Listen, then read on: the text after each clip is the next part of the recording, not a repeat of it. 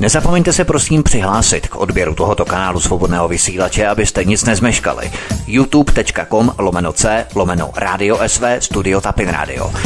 Dejte si prosím odebírat tento kanál kliknutím na červenou ikonku v horní pravé části obrazovky s nápisem odebírat a zaškrtněte také symbol zvonečku, abyste byli informovaní o nahrání každého nového pořadu. Tím také nepřijdete o čerstvé premiéry a rozmanité kauzy, které můžete dále sdílet na sociálních sítích. Příjemný, krásný, dobrý večer, dámy a pánové, zdraví vás svítek ze svobodného vysílače. Poslední zbytky demokracie se hroutí. Ve Spojených státech hlasovali pro Bidena i voliči ze záhrobí. Oficiální cesta, jak se spojit s vašimi zesnulými, je proto přes volební lístky demokratů. Joe Alzheimer Biden, který si plete svou vnučku s vlastním pět let mrtvým synem, se prohlásil za vítěze. Je to ale předčasné, když pensylvánský nejvyšší soud uložil volební lístky po 20. hodině 3. listopadu do uzavřeného kontejneru a zřejmě se budou přepočítávat. Navíc se zjistilo, že sčítací počítačový systém v Michiganu překlápěl hlasy pro Trumpa Bidenovi. Jak probíhaly americké volby ve stylu převratu vítězného února? Je korespondenční hlasování vytouženým nástrojem elit k manipulaci a podvodům voleb? Proč se nepodařilo hrdým američanům z menších středních městeček převálcovat sebedestruktivní neoliberály z obřích aglomerací? Sledujeme souboj konzervativní disciplíny a neoliberálního chaosu. Klasický koncept vyvolání krize, barevné volby totalitního řízení bažiny Deep State 2020. Ve druhé sekci našeho dnešního pořadu podrobně proskoumáme vazby ředitele Světové zdravotnické organizace Tedrose Herbrese na Billa Gatese, Clintonovu nadaci hlavního amerického epidemiologa doktora Anthony Fauciho nebo Čínu. Globalisté to umějí roztočit na plné obrátky. O to horší je skutečnost, že osud celé planety podléhá velení této skorumpované mafie Světové zdravotní organizace. Ředitel VHO byl totiž dříve etiopským ministrem zdravotnictví. V dříve teroristické straně Tigrejců se podílel na genocidě Amharů formou vakcinačního programu, kampaně pro plánování rodin a masové antikoncepce Amharů injekcemi, které zvyšují riziko rakoviny prsu anebo neplodnost. V Evropě a Spojených státech jsou dokonce zakázané. Tato strana Tigrejců totiž vzešla z Lidové osvobozenecké fronty v Etiopii, která byla ve Spojených státech klasifikovaná jako teroristická organizace na stupni číslo 3. Právě zde dříve působil Tedros Herbresus jako ministr zdravotnictví a poté zahraničí. Dva měsíce před jeho zvolením jako ředitele VHO přednášel na čínské Pekingské univerzitě vedle Billa Gatese. A právě na globální fondy Billa Gatese je ředitel VHO napojený působením ve správních radách těchto organizací. Dozvíte se více. V poslední sekci rozhovoru se podíváme na výstavbu internačních táborů v Kanadě. Mýty a skutečnosti o těchto takzvaných detention camps nám lecos napoví. A já už tady vítám Láďu z Kanady. Láďu, vítej, ahoj. Zdravím Vítku, zdravím posluchače. Podívejme se v úvodu na průběh a hlavně výsledek amerických voleb. My se následně samozřejmě budeme bavit ještě o doktoru Anthony Fauci, třeba globalistech, o Světové zdravotnické organizaci a jejím totálním provázání s Čínou a nadacemi Clintonových a Billa Gatese a tak dále. Všechno nazdrojované informace a slibujeme vám, že to budou velmi šokující informace. Ale začněme americkými volbami. Všiml jsi si třeba, že ti, co se v sobotu a v neděli srocovali na ulicích společně v jednom chumlu, v jedné skupině kolektivně hromadně oslavovali takzvané vítězství Joea Bidena, které ještě zdaleka není jisté a už vůbec není oficiální, tak to jsou ti samí lidé, co tvrdili, že se kvůli covidu bojí hlasovat osobně ve volebních místnostech a proto volili korespondenčně. A to jsou právě ti samí lidé, kteří se teď zhlukují hromadně kolektivně na ulicích. To už se najednou nebojí. Přesně tak, najednou e, rozšířování víru nehrozí. Veškeré, e, když se člověk díval na televizi, e, na předvolební boj, na takzvané re, rallies, ale shromáždění, které každý měl kandidát, každý kandidát to měl zvlášť, že v určitém městě a tak dále, takže tam si mohl vidět, jak když přijel Trump do různých měst, tak tam se scházely tisíce nebo desetitisíce lidí. No a samozřejmě CNN a združené, přidružené televize souputníci, tak uh, plývali síru, že to jsou takzvané super spreader events, to znamená super rozšiřovací uh, setkání, kde se ten virus prostě šíří, protože tam je lidi a lidi. No a když se člověk podíval na e, tyto akce Bidena, tak tam bylo na parkovišti pár aut.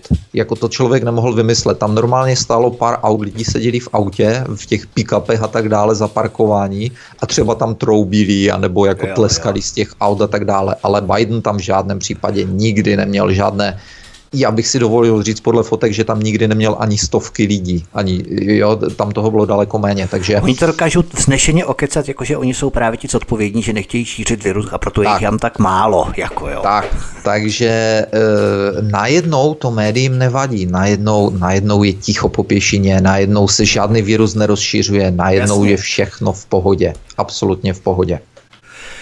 Takže ti demokraté, které vidíme ve skupinách tančit v ulicích měst amerických, mají blízký vztah ke korespondenčnímu hlasování a jenom ti hloupí bílí pracující republikáni, ideálně farmáři, kteří žijí kde si na vesnicích, tak hlasovali osobně eh, ve volebních místnostech. Ale zajímavé také je, že sociální média potlačují většinu příspěvků spochybňujících integritu nebo řekněme legitimitu výsledků amerických voleb. To jim najednou hrozně vadí, že někdo spochybňuje americké volby, že ty výsledky někdo spochybňuje, ale vzpomínáme si na čtyři roky Russiagate, kdy celou dobu sociální sítě i korporátní média spochybňovala legitimitu Donalda Trumpa jako prezidenta, spochybňovali legitimitu voleb, že byly ovlivněné Ruskem. Zatímco teď Veškeré pochybnosti o legitimitě voleb jsou potlačované. Najednou hrozně vadí, všechno je v pořádku. Není to zvláštní?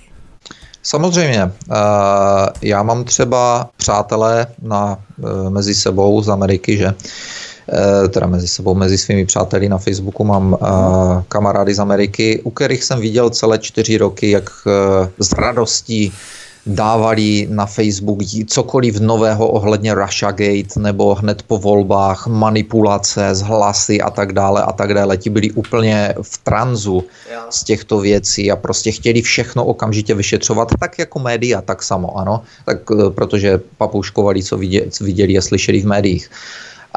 Tito lidé teď, eh, pár z nich jsem se jich ptal, eh, jak to, že neprotestujete, jakože nebojujete za americkou demokracii teď? Vždyť je tolik videí, tolik, tolik eh, tolik důkazů, které jsou opravdu, vypadají dost věrohodně, tolik lidí promlouvá, máte skorumpovaného kandidáta, který vlastně se sám ke, ke korupci přiznal třeba na tom videu ohledně Ukrajiny, kdy odvolal hlavního advokáta takže to, to vám, neva, jako, eh, vám nevadí, že je ohrožena najednou demokracie celého systému, demokracie vaší zem. Najednou je to všechno OK?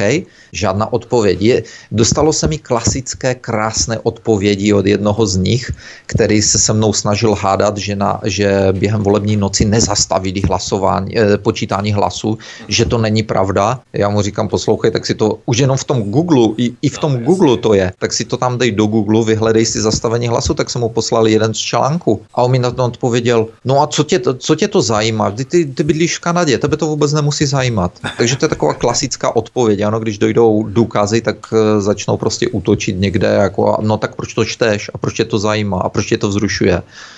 Uh, takže e, nikomu najednou, nikomu z těch médií, e, z těch strážců demokracie a nikomu z demokratů a nikomu z těchto e, voličů demokratů najednou nic, nic takového nepřipadá nepřipadá zvláštní. A velice dobře to napsal jeden bývalý diplomat, který pracoval v diplomatických službách, myslím, že začal z Reagana a skončil za Obamy.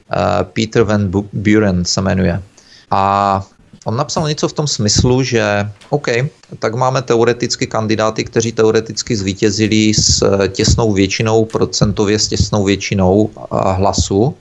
Říká, je tam, když to vememe, že to je všechno legální, tak je tam velice malý rozdíl mezi nimi. A e, říká, teď vidíme velké rozdělení, jaké jsme v Americe neviděli. Ta vítězná strana si teď myslí, že bylo všechno úplně super a že zvítězila demokracie a ta poražená strana, která má pochyby, Eh, na základě eh, různých důkazů, videí a co, cokoliv jiného, tak je přesvědčená, že je demokracie v Americe v ohrožení, nebo že, že, v háji, eh, prostě. že upadla, že je v háji a že došlo k obrovskému podvodu. A on napsal, a přitom se hlasy pořád ještě sčítají. Hmm. Co by se stalo, kdyby se to převrátilo a to těsné, procent, tě, těsné procento se obrátilo a začala vítězit ta druhá strana. Byla by demokracie pro ty první, pro demokraty, byla by demokracie pořád v pořádku? A nebo by najednou byl všechno podvod a najednou by demokracie v jako byla v háji. a on napsal ještě jednu zajímavou věc. On říkal, eh, my v eh, diplomatických službách jsme měli vždycky zapovinnost vysvětlovat Ameriku eh, lidem z té země, v které jsme, do které jsme byli dosazeni. A on říkal víceméně po volbách, po každých amerických volbách byla, nebo u každých amerických voleb byla na ambasádu byli pozváni eh, představitelé vlád těch hostujících zemí. No a společně, společně jsme tam vždycky seděli přes tu volební noc a dělali se z, z legrace, se dělali sásky a potom jsme, potom jsme to rozpíli takzvaně, oslavovali a tak dále. Jo? A on říká, ale naší povinností bylo vždy vysvětlit těmto lidem, uh, těmto vládním činitelům hostujících zemí, Ameriku, vysvětlit Ameriku, vysvětlit přístup, vysvětlit přístup. On říká, uh, jakékoliv vlády. My jsme tam byli pořád, prezidenti a vlády se měnili, takže my jsme měli někdy horší práci vysvětlit Ameriku a její, její uh, činnost, někdy jsme měli tu práci jednodušší.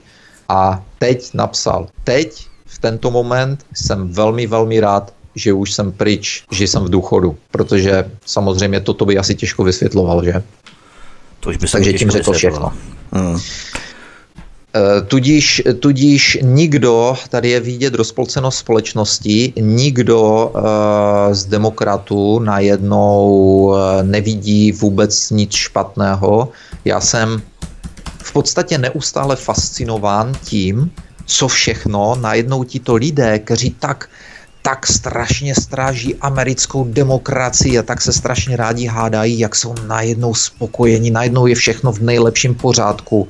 Teď to bude, teď to bude prostě balada, ten, ten strašný Trump je pryč. Mimochodem, všichni z nich e, volají, z těch mých známých, ale i z těch médií volají po Trumpovi, aby okamžitě odstoupil, už tam nemáš co dělat, běž pryč, uh, uznej, uznej svoji porážku, buď dobrý, jako time to go, time to go, jasně. sportovního ducha, odstup, eh, prostě je to, spo, je to jako ve sportě, jo, prostě uznej porážku a tak dále. Nicméně ti to samý lidé a ty to samé média takhle nespívali uh, v roce 2016 to požadovali, to požadovali soudní procesy, vyšetřování veškerých manipulací, okamžité ne, nenastoupení Trumpa a tak dále a tak dále. Jo? Takže tady je vidět ten krásný, krásný dvojí standard typicky pro tyto lidé, kteří se nazývají demokraté nebo liberálové, a podobně. Mě, mě třeba, eh, na mě třeba útočili tam od svých známých, od těch mých známých demokratů, když jsem jim jsem tam něco napsal na Facebooku,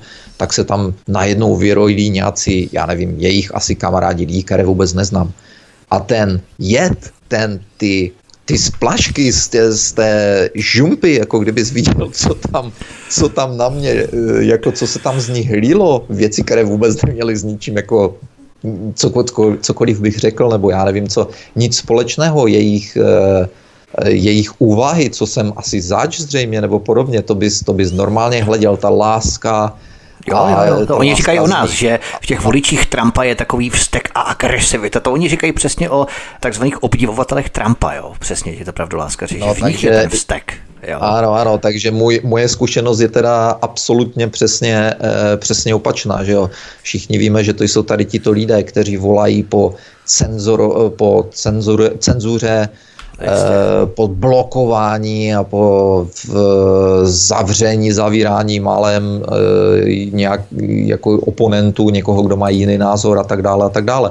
A když jsme u cenzury, já jsem si všiml v posledních dnech, že Twitter, uh, Twitter a face, nevím jestli Facebook, ale u Twitteru jsem si toho všiml, nebo to bylo u Facebooku, uh, Twitter nebo Facebook, jeden z nich už uh, pěkně píše poznámky, kdy, kdykoliv dáš něco o volbách, nebo kde se třeba zmiňuje něco o volbách jenom, tak už tam automaticky vyskakují jejich poznámky, že toto nebylo dokázáno, nebo že a tady jsou výsledky voleb, ale už to mají ve, v hodně cizích jazycích. To znamená, když si v Čechách začne ti to vyskakovat v češtině, ten vzkaz, i když tam sdělíš článek z angličtiny, tak ti to najednou v češtině vyskočí, že americké volby jsou bla, bla, bla, bla, bla něco takového, jo.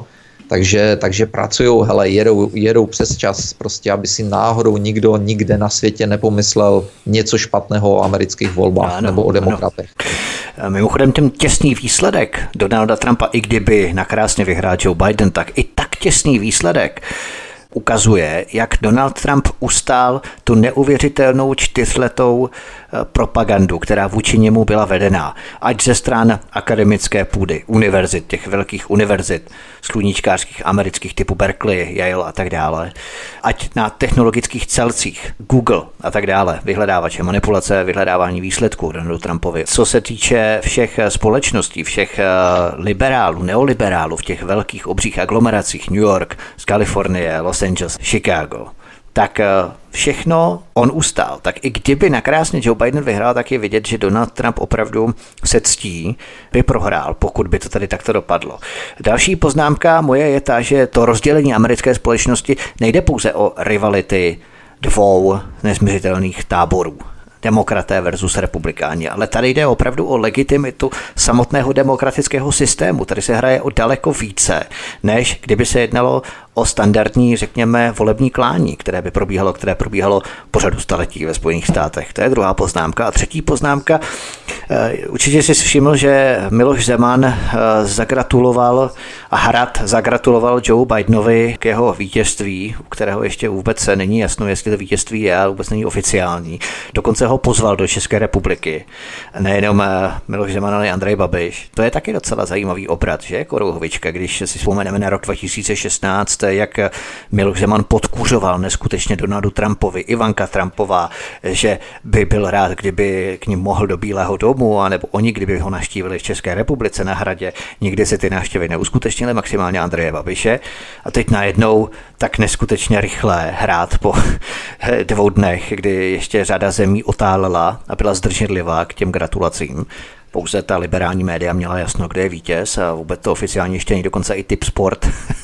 to byla taky docela legrace, jak oni řekli, že ty výsledky vůbec ještě oficiálně nebyly vyhlášené, to znamená, že nemohou jak si vyplatit ty sázky výhercům nebo těm, kteří prohráli. Miloš Zeman je pozval sem k nám do České republiky, tak to je docela taky zajímavý obrat, že? Je to docela zarážející, když jsem, eh, když jsem viděl ty reakce politiků, o kterých mluvíš, tak eh, ano, přesně jak jsi řekl, výsledky nejsou v podstatě ještě oficiální. Eh, může se stát mm, podle mě cokoliv. V pondělí se budou, budou dávat k soudu žaloby.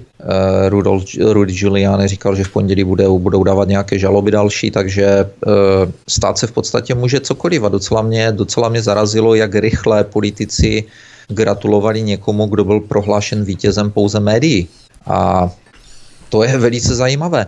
Ale pamatuješ si u našeho uh, minulého rozhovoru, kdy jsem vyjádřil jakoby pochybnost nad volbou Donalda Trumpa, kdy nechtěl, nechtěl jsem říct, že pokud Donald Trump vyhraje, tak to bude zázrak, ale řekl jsem, že pokud něco v tom smyslu, že pokud Donald Trump vyhraje, takže v Americe bude Eh, že bych ještě teda řekl, že v Americe je nějaká demokracie, že ještě nějaká demokracie funguje.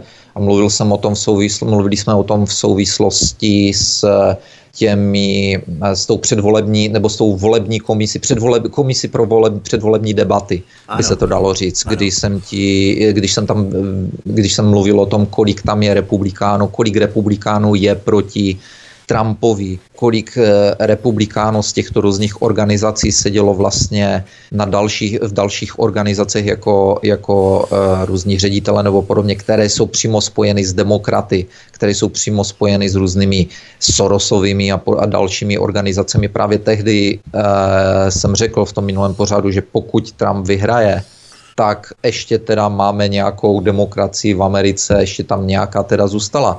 Takže tady je vidět ten tlak ze všech stran na Trumpa a přesně v podstatě to, co, eh, to, co si řekl před chvílí, že i kdyby nakrásně ty eh, hlasy pro Bidena byly všechny legitimní, čemuž nevěřím ani na sekundu, a tak eh, je pořád vidět, že i přes ten veškerý tlak, přes ten přes tu propagandu všech v podstatě médií čtyřletou, přes ty snahy eh, CIA, FBI o manipulace, přes ty všechny jejich lži před, kongre- před eh, senátem a před kongresem, což jsou všechno trestné činy, a přes tady toto, ten veškerý neuvěřitelný tlak, vlastně přes, eh, přes to, že proběhlo ve Spojených státech pokus, čtyřletý pokus o svržení prezidenta, což nevím, jestli v historii Spojených států k něčemu takovému došlo. A, a v podstatě byl to pokus o převrat dnes, dnes je dokázáno, že to, bylo pokus, že to byl pokus o převrat. Že jo. Začaly už e, nějaké, e, dokonce i zatýkání, odsouzení. E, myslím, že ředitel, říkal jsem to minule pravděpodobně, e, z FBI byl nějaký advokát e, vlastně odsouzen Eh, za trestný čin manipulace a zavádění a tak dále ohledně eh, e-mailu eh, z Hillary Clinton, že? takže to je přímo spojené s Russiagate. Takže i přesto Donald Trump dostal tyto výsledky přes ty všechny manipulace, přes ty všechny videa, které jsme, kterých je spoustu, kde, kde je vidět, jak ve volební místnosti razítkují a vyplňují, ti, ti pracovníci razítkují a vyplňují volební lístky, odkladají je dál Eh, do dalších eh, těch košíků, co tam mají připravené. A ať jsou to, ať se to dá vysvětlit jak, nebo nedá vysvětlit, protože spoustu těch videí okamžitě demokraté takzvaně vysvětlují, co se tam opravdu dělo a tak dále. OK, nechajme, nechajme to na soudech. Já nejsem advokát, nejsem konstituční advokát. Přes ty všechny věci, které, které jsme slyšeli, přes to všechno Donald Trump vyhrál a, nebo vyhrál, pardon, nevyhrál, přesto všechno dostal, dostal velice uh, vysoký počet hlasů. Takže tady je vidět, že pravděpodobně i přes ten veškerý tlak, pravděpodobně lidé v Americe si myslí něco jiného, že to na ně nefunguje. Teď je otázka, kdybychom se dozvěděli pravdu, kolik opravdu lidí volilo pro Bidena, jak by vypadaly skutečné čísla. Já si pro myslím. Biden, pro Bidena volilo, já jsem si udělal legraci v podstatě, protože jedna moje kamarádka se velice o to zajímá z Ameriky, je vlastně stala se maminkou, takže, je, takže ji zajímá budoucnost, takže velice do, do těchto věcí eh, se dívá teď v poslední době a eh, ona začala vlastně od začátku tam psát do těch eh, hlasech lidí, kteří zemřeli v podstatě, že se začaly objevovat hlasy zemřelých lidí.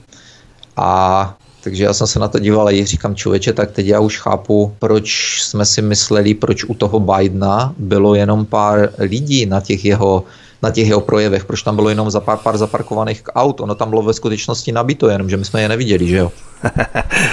Ještě bych se tady chtěl pozastavit u toho, že když svítězil nepřítel Deep Stateu, to znamená Donald Trump, legitimita voleb se spochybňovala celé čtyři roky. Zatímco když svítězil favorit Deep Stateu, miláček Deep Stateu Joe Biden, tak zpřízněná média najednou ty výsledky voleb nespochybňují vůbec. Tady opravdu krásně vidíme v celé své nahotě, na čí objednávku ta média pracují, že jsou řízená z několika center, se kterých se tlačí ta jednotná univerzální agenda, koho budeme kolektivně milovat, koho budeme kolektivně nenávidět. Mimochodem na sklonku volebního období Donalda Trumpa mu Senát potvrdil soudkyni nejvyššího soudu Amy Koniovou Beretovou. Republikáni tak mají absolutní převahu u nejvyššího soudu, 6 ku 3, myslím, že to je. Dříve to byl nejvyšší soudce Kevin On, kterého Trump jmenoval, ale teď šéf nejvyššího soudu v pátek doporučil Trumpovi, aby to zabalil, přitom to byl Bushovec jmenovaný v roce 2005. Co myslíš, že uspíšilo Bidenovo prohlášení sebe sama za vítěze amerických voleb. Co myslíš, že to bylo? Kde se brát takovou odvahu zrovna v sobotu vystoupit? Řekl, tak fajn, tak já už to nebudu protahovat, tak já jsem ten vítěz. Vlastně ono to oficiálně není ještě zdaleka jasné, zdaleka jisté, ale prostě já už jsem ten vítěz. Tak to prostě berte, akceptujte. A média samozřejmě se rozhýkal a rozržála nadšením.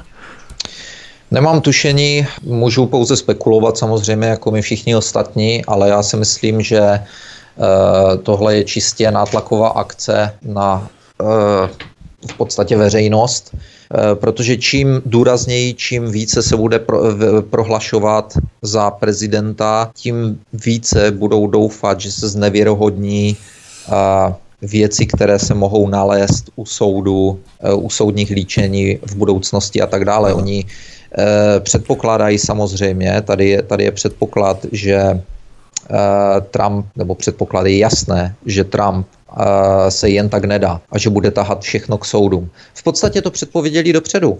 V létě už demokraté, různá Nancy Pelosi a všichni ostatní začali z ničeho nic prohlašovat, že Trump se nevzdá úřadu, že Trump neodejde, že ho budou, že ho, když ne, nebude chtít odejít, že ho vytáhnou armádou. To začalo v jednom momentě během léta a mě to dost zarazilo, já jsem se na to díval a říkal jsem si, uh, co se to děje, proč najednou začali říkat takové věci. Řekl Trump. To byla taková cvičná salva trošku malinko předtím, než oni se připravovali na to, uh, že oni samozřejmě velmi dobře věděli, co nastane.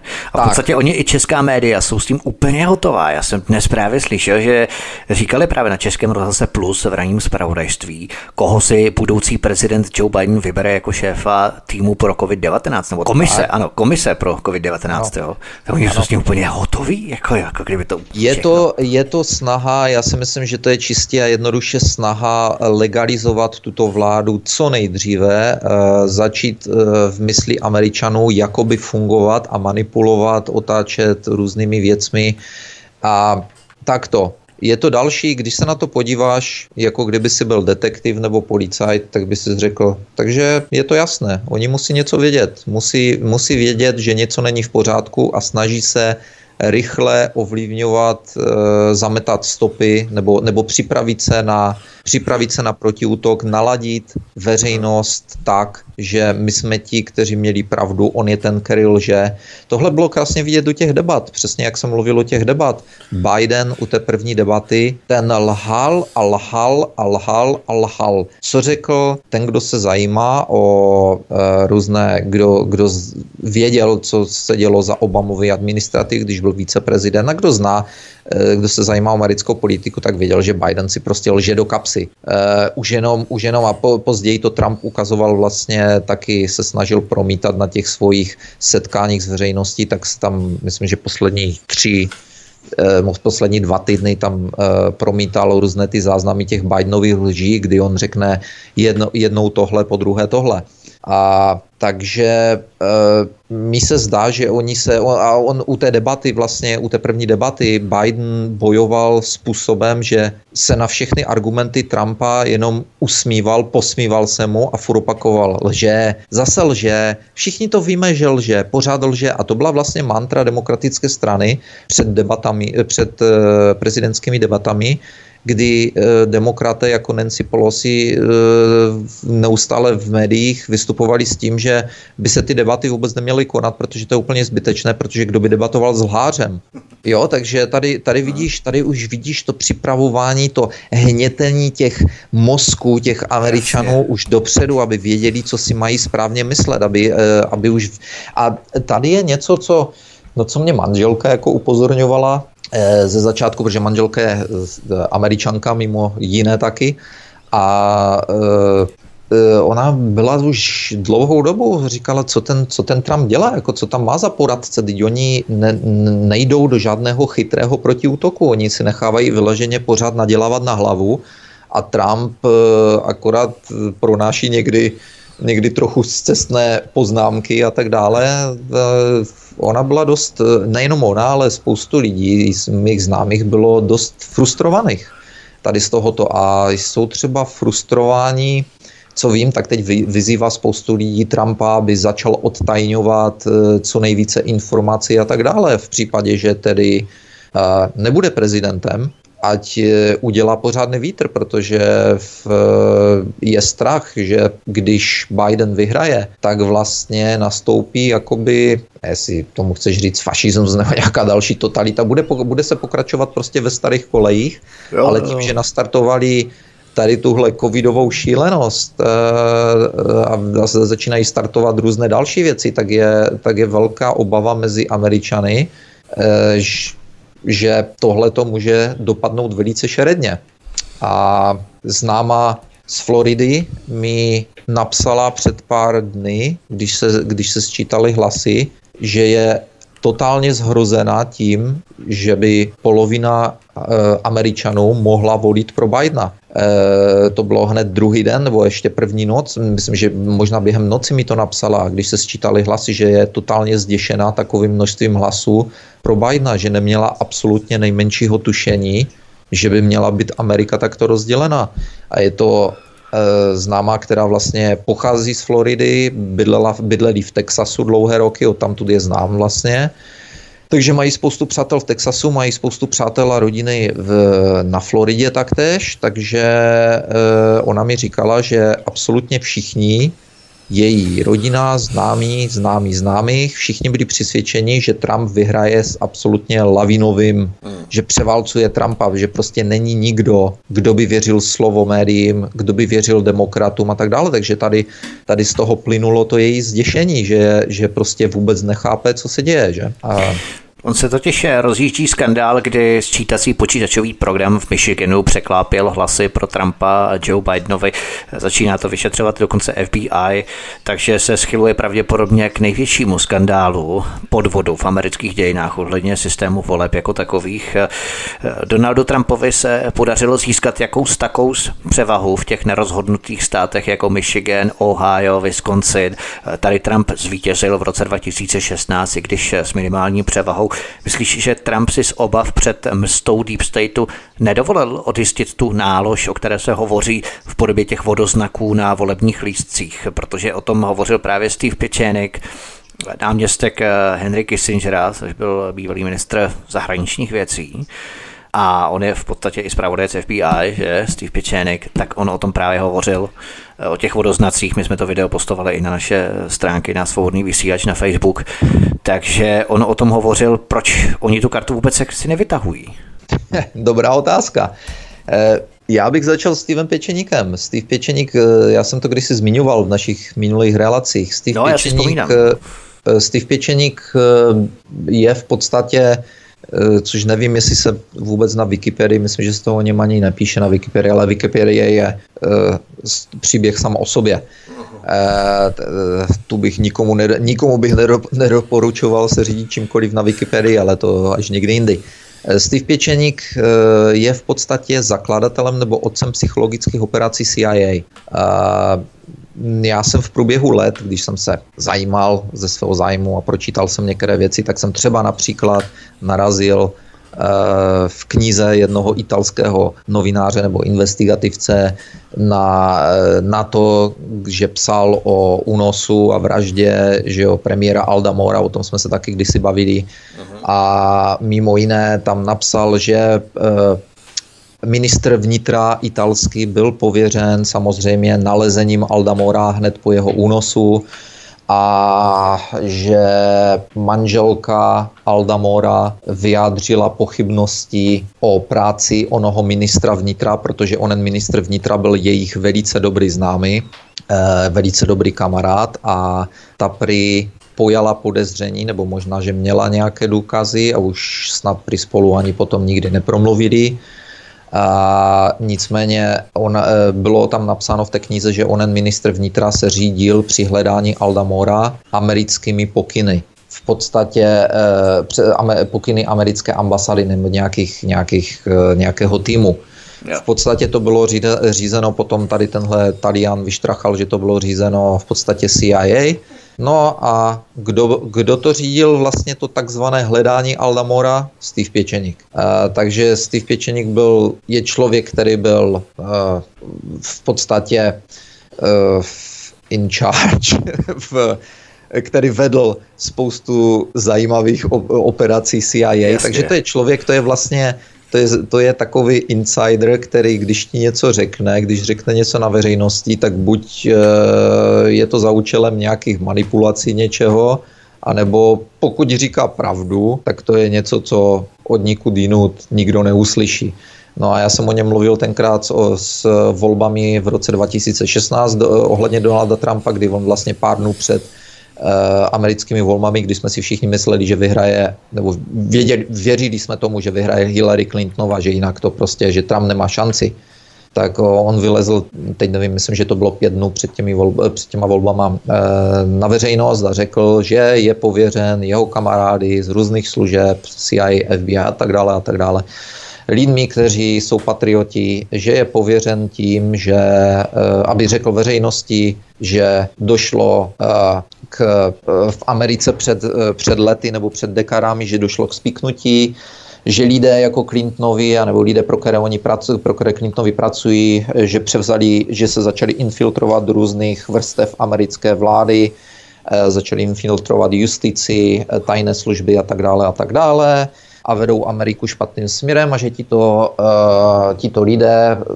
za které Steve Pěčeník mluví, se rozhodli, že berou Ameriku zpátky a že za těch pět dnů uh, Hillary Clinton, Clintonovou do Bílého domu nepustí a že, po ní, že půjdou po těchto lidech.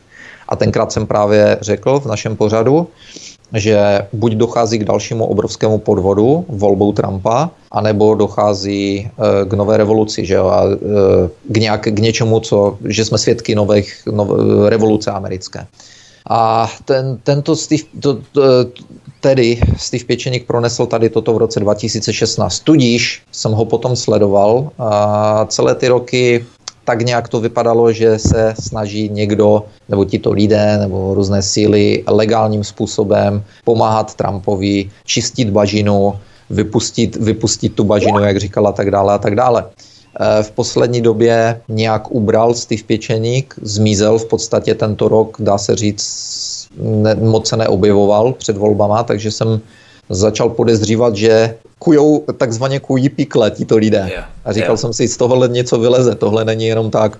E, no a vylezl Steve Pěčeník s tady tímto videem, že e, což určitě spoustu posluchačů vidělo, že jsou tyto lístky označené vodoznakem. Vypadá to, to video na mě působí tak e, ne, nepravděpodobně, tak jak na mě působilo to jeho video v roce 2016. A jestli je to pravda, že jsou ty lístky označeny vodoznakem, Mm, těžko říct. Může to být, může to být uh, hra, kdy chcou přinutit uh, různé volební činitele, aby, aby nalili čistého vína takzvaně, aby se zalekli, aby rychle začali uh, říkat pravdu, než se na ně došlápne. A nebo to může být pravda, můžou se dít zajímavé věci, možná, že to třeba nechají dojít k, k, Supreme, k nejvyššímu soudu USA. Uh-huh Eh, a tam se teprve možná, že je zatím něco jiného, že se otevře, že se rozhodli otevřít konzervu a ukázat americké společnosti tímto způsobem, kdo je vlastně ovládá, protože já jsem řekl spoustě lidem, já jsem jim říkal, já vím přesně, eh, kdo vyhraje. Vyhrajou ti samé, ti samí lidé, kteří vyhrávají posledních 40 let, nebo dá se říct posledních 100 let s různými, s různýma přestávkama majitele majitele Fedu, majitele Světové banky a tak dále a tak dále, že? A, takže nevím, nevím, co si o tom jeho projevu toho Steva Pečeníka myslet, upřímně řečeno. Velice, velice rád bych chtěl věřit, že je to pravda, že to mají všechno pod kontrolou, že opravdu je to registrované na onom blockchainu a tak dále a tak dále. Eh, Steve Pěčeník řekl, že probíhají už nyní eh, akce jako, jako zatýkání a obvinování a tak dále. Samozřejmě o tomto se nic nedočteme na mainstreamu, i kdyby to byla pravda. A, takže upřímně řečeno, upřímně řečeno, nevím, co si o tom myslet a žádné jiné informace nemám.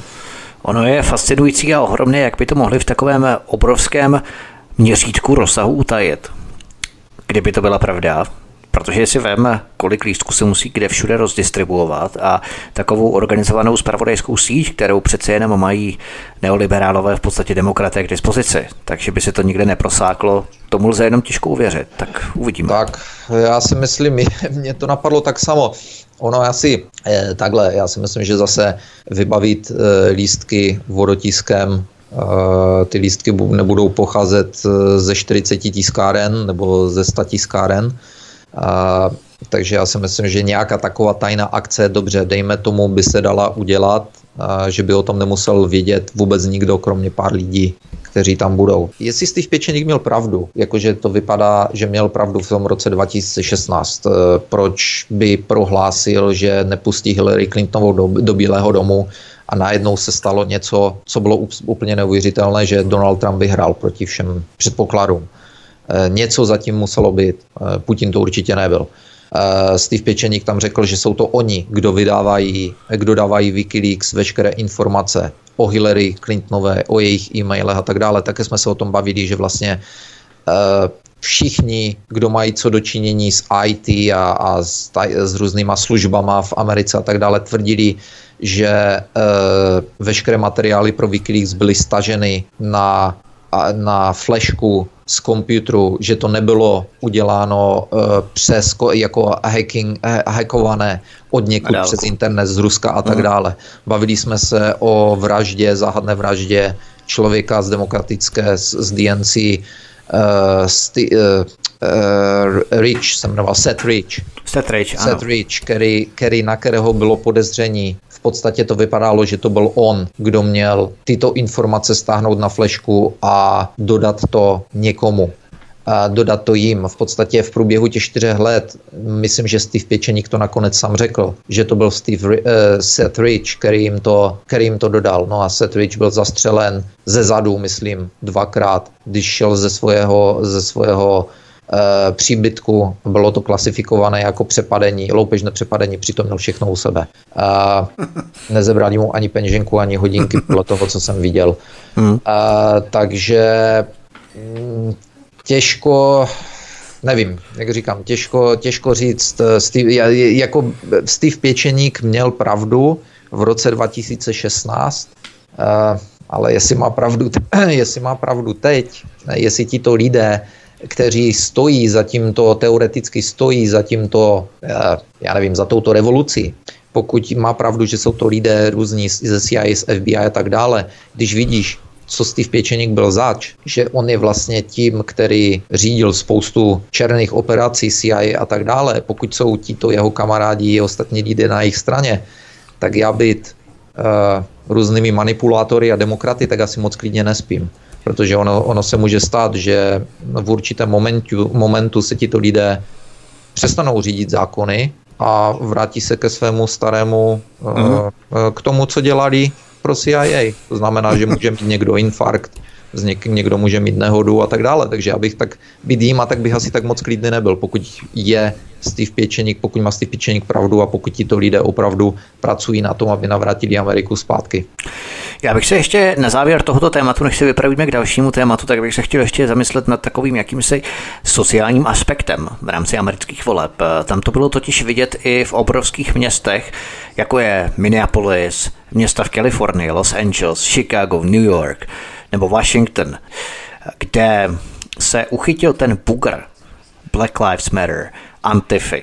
Tam ti američané jsou už zpracovaní tou propagandou. Jo? Tam už ty demonstrace víceméně procházely tak nějak, oni tam mohli téměř pochodovat, kde chtěli, dělat, co chtěli. Policisté tak jenom tak nějak drobně korigovali, občas eh, někomu řekli, že to nedělá, když bude zlobit, tak ho zatknou a tak, prostě minimální restrikce. Ale když se chtěla Antifa Black Lives Matter rozjet do těch středních amerických městeček, tak tam tvrdě narazili na tvrdý tuhý odpor těch běžných hrdých Američanů, kteří neváhali vzít zbraně do rukou, ustanovit domobrany, to je to, co tady chtějí třeba zrušit a proto hlasovali mnozí poslanci, včetně vlasteneckých takzvaných. A sice jim dovolit demokraticky si zademonstrovat, fajn, Máme Ameriku, máme svobodu, můžete si svobodně demonstrovat. Ale jediné rozbité okno v nějakém obchodě nebo převrácené auto a začneme na vás střílet ze střech jako na škodnou, tak tam něco vykřikovali, takový ti šamponci, takový ta sojová mládež, těch Black Lives Matter a Antify, seděli tam jako krotcí beránci ukropečkové na tom chodníku, protože měli stažený zadek, protože ti běžní američané, hrdí američani si to od nich nenechali líbit v těch městečkách, těch menších provinčních městečkách. Jo? A právě tohle jsou ti běžní hrdí američané z těch menších městeček, kam ještě ta sebedestruktivní vlna neoliberalismu nedošla, nedorazila. Tam panuje řád, pořádek. To jsou ještě ti nespracovaní američané neoliberální propagandou. A právě tihle jsou tou vrstvou, která měla na svědomí vítězství Donalda Trumpa v roce 2016, možná i dnes. Je to něco podobného jako třeba u nás v České republice Praha, Brno, Olomouc, možná i Plzeň, takové ty univerzitní městečka, versus venkov taky sůl země jo? a nějaké genderové aktivisty poženou cepy, hráběmi a vidlemi, svínským krokem. Jo? Ty tam prostě nemají co dělat. Bohužel za ty čtyři roky nevíme, jestli Trump skutečně zvítězil, protože to přerušování sčítání hlasů v mnoha státech je skutečně výmluvné, ale takto bychom to asi mohli charakterizovat. V podstatě ty skupiny tradicionalistů, těch konzervativistů versus neoliberálů, destruktivních většinou tedy z těch eh, velkých obřích aglomerací. Proč jsem, eh, proč jsem říkal, že nevěřím ani na sekundu tomu, že by Biden mohl dostat tolik hlasů, je to, že eh, ze všech svých známých a známých známých a rodiny a tak dále, co máme ve Spojených státech, a neznám, eh, můžu ti říct, že vím stoprocentně o dvou, a myslím si to o dalších dvou, takže o čtyřech lidech, kteří volili Bidena, demokraty. Jinak ani jeden. Ani jeden. Mm. Takže uh, když jsi mluvil o těch Black Lives Matters, o Antifia a tak dále, takže dneska už je, dnes, dnes už je jasné, že vlastně v mnoha městech rabovali, rozbíjeli obchody a uh, lidi, kteří jsou černochů ve čtvrtích, v černovských čtvrtích. Yeah. Takže a byly to Black Lives Matters. Takže e, proti čemu protestovali, když ničili obchody a tak dále. Je spoustu videí, kde, kde dokonce i zastřelili nějakého, e, e, on to byl bývalý policajt, že? který šel, který hlídal obchod, myslím, známých, nebo co to bylo. Jo, to bylo v té Louisianě, mám takový pocit. Tam uh, no, no, no, no, no, no, no, Takže, uh, takže uh, tady je jasně vidět, že to je, skup, to je uh, všichni víme dneska, že to je prostě a dobře zaplacená skupina, tak, tak samo, jak jsou placení mýtů a, a další, další organizace, které výběrově atakují pouze, ale u, u, atakují jenom vybrané lidi. U dalších, které takzvaně jdou se systémem, tak těm to projde všechno. E, takže tady je, jasné, tady je jasné, že to je malá skupina uřvaná. E, a demokraté si nemyslím, zvlášť po tom, po tom řáze, řádění v tomto roce těchto skupin, tak si myslím, že demokratům ubylo spoustu, spoustu hlasu. A v podstatě jsme se bavili kdysi, že uh, Černoši ve velkém uh, odcházejí od demokratu. Uh, když se podíváme na některé statistiky volební uh, z tohoto roku nebo, z přede, nebo, nebo průzkumy z předešlých let, tak je vidět, že ubývají hlasy i latinců, demokratům, Aziatů samozřejmě, Aziati totiž ve velké, eh, ve velké části jsou republikáni, anebo tady v Kanadě konzervativci. Aziati netíhnou k těmto levicovým lidem, takzvaně. Mm. Právě proto Právě proto nikde na světě nevidíš a neslyšíš, že by byli Aziati diskriminováni, což byli a jsou kolikrát, ale, ale nejsou žádné hnutí. Uh, Soros, nepa, Soros neplatí Asian Lives Matters. Nikdo, nikdo tady nevyskakuje a přitom se děli. Samozřejmě, když si vybereš, když chceš najít, tak si najdeš křivdy, které se jim děly, tak samozřejmě si ale najdeš křivdy, které se děly bílým, že jo? Ale uh, co chci říct, nikdo nikde, nikdy nepoužíval Aziaty jako ublíženou skupinu, protože oni si na to nehrajou. Nějak, nějak prostě to nejde a v Americe je známé, že, že Aziati jsou kolikrát velice konzervativní. Latinci a, tak samo. A, Latinci, Jižní Amerika, spoustu z nich podporuje Trumpa a spoustu z nich podporuje například zastavení ilegální migrace do Ameriky, protože spoustu z nich si uvědomuje, že ten, ši, že ten, a, a, ten, a, ten nepořádek, z kterého utekli, z Jižní Ameriky, tak e, že vlastně se přelevá přes hranice za nimi. A a spoustu z nich si uvědomuje, že nechcou žít uh, v tom, z čeho utekli znovu, což klobouk dolů, když si něco takového někdo uvědomí. A protože ono to bývá tak, že všichni ti migranti se snaží potom zavádět manéry, které jsou u nich doma. Začínají je poža- po- po- požadovat. Takže veškeré, veškeré znaky Eh, před, těmito, eh, před těmato volbama a ukazovali k tomu, že i mezi minoritama prudce roste eh, podpora republikánské strany a v podstatě Trump, podle některých statistik, které jsem viděl, tak Trump myslím, že dostal nejvíce hlasů od nebílých kdy jakýkoliv republikánský prezident měl údajně dostat. Omlouvalo se to hned tím v médiích, že no samozřejmě, že dostal nejvíce z hlasu, protože bylo, bylo strašně hodně lidí, kteří volili tento rok. Jo, snaží, tak, takže na tomhle vidíš, že se snaží o takzvanou damage control. To znamená kontrolovat ten narrativ nějak, aby e, držet to pod kontrolou, že to tak není zas tak horké.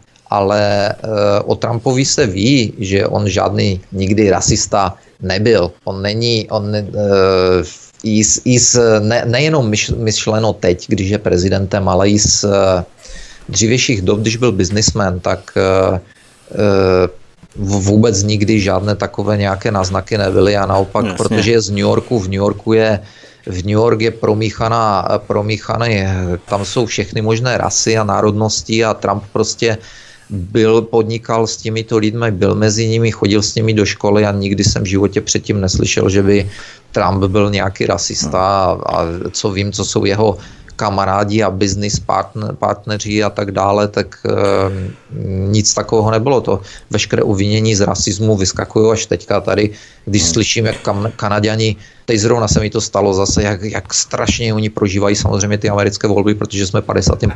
prvním státem Spojených států asi. Jasně. E, takže e, debatovali o tom, jak, jak zase rozdě, už opět debatovali o tom, no ale ty děti, ty děti na těch hranicích, jak rozděluje, jak je tam, jak je tam dává do těch klecích a to jak bych v pět ráno. Když jsem s někým, když, jsem, když mi na to tady, tady toto někdo řekl, já jim říkám, OK, a kdo tady toto začal? Kdo začal budovat ty klece na to rozdělování dětí? No Trump, ne, Obama. Řvali jste předtím? To je úplně přesně, ty jsi mi nahrál parádně na smeč, protože všechny tyto pokroucené destruktivní ideologie, neoliberalismus a tak dále, všechno pochází ze západu. Vůbec ani v azijských komunitách, ani v latinoamerických komunitách, ani v afrických komunitách. Nic takového není. Oni na tom samozřejmě benefitují, no profitují, že jo, ty africké komunity, když sem přijdou uprchlíci a tak dále. Ale to je zase, že my jim to dovolíme. Ale v podstatě nikde, ani v Ázii, ani v Latinské Americe, ani prostě mimo ten euroamerický svět, nikde takto destruktivní ideologie nevznikaly. Marxismus vznikl na západě a z Německa ho Lenin přivezl před více než stolety do Ruska. Komunismus, kdy nejlivnějšími teoretiky komunismu se dávno před bolševikem a Leninem stali v Německu.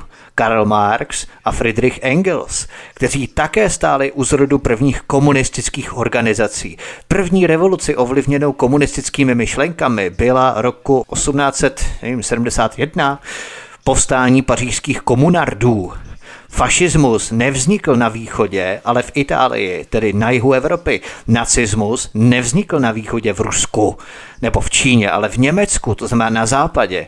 Potupnou mnikovskou dohodu proti České, Československu v Berlíně nepodepsal s Hitlerem ruský Stalin, ale britský premiér Neville Chamberlain, francouzský premiér Galadie a italský fašista Benito Mussolini. První atomovou bombu nevyrobili na východě v Číně nebo v SSSR, ale na západě ve Spojených státech. První plynové útoky na frontě, chlor, fosgel a jiné, neprovedli Rusové, ale Němci. První takzvané nervové plyny, sarin, soman, tabun a tak dále, nevyrobili Rusové, ale Němci, zase opět Němci na západě roku 39 až 42 tedy na západě. Neomarxismus se po Evropě nešířil z východní Moskvy, ale z německého Frankfurtu, frankfurtská škola tedy opět ze západu. Teorie tzv. gender socializaci k nám pronikají círka od 70. let minulého století ze západu, se vzestupem feminismu, nikoli z Ruska nebo z Číny. Multikulturalismus nevymysleli v Moskvě, ale je nám oficiálně proklamovaný Evropskou unii z Bruselu.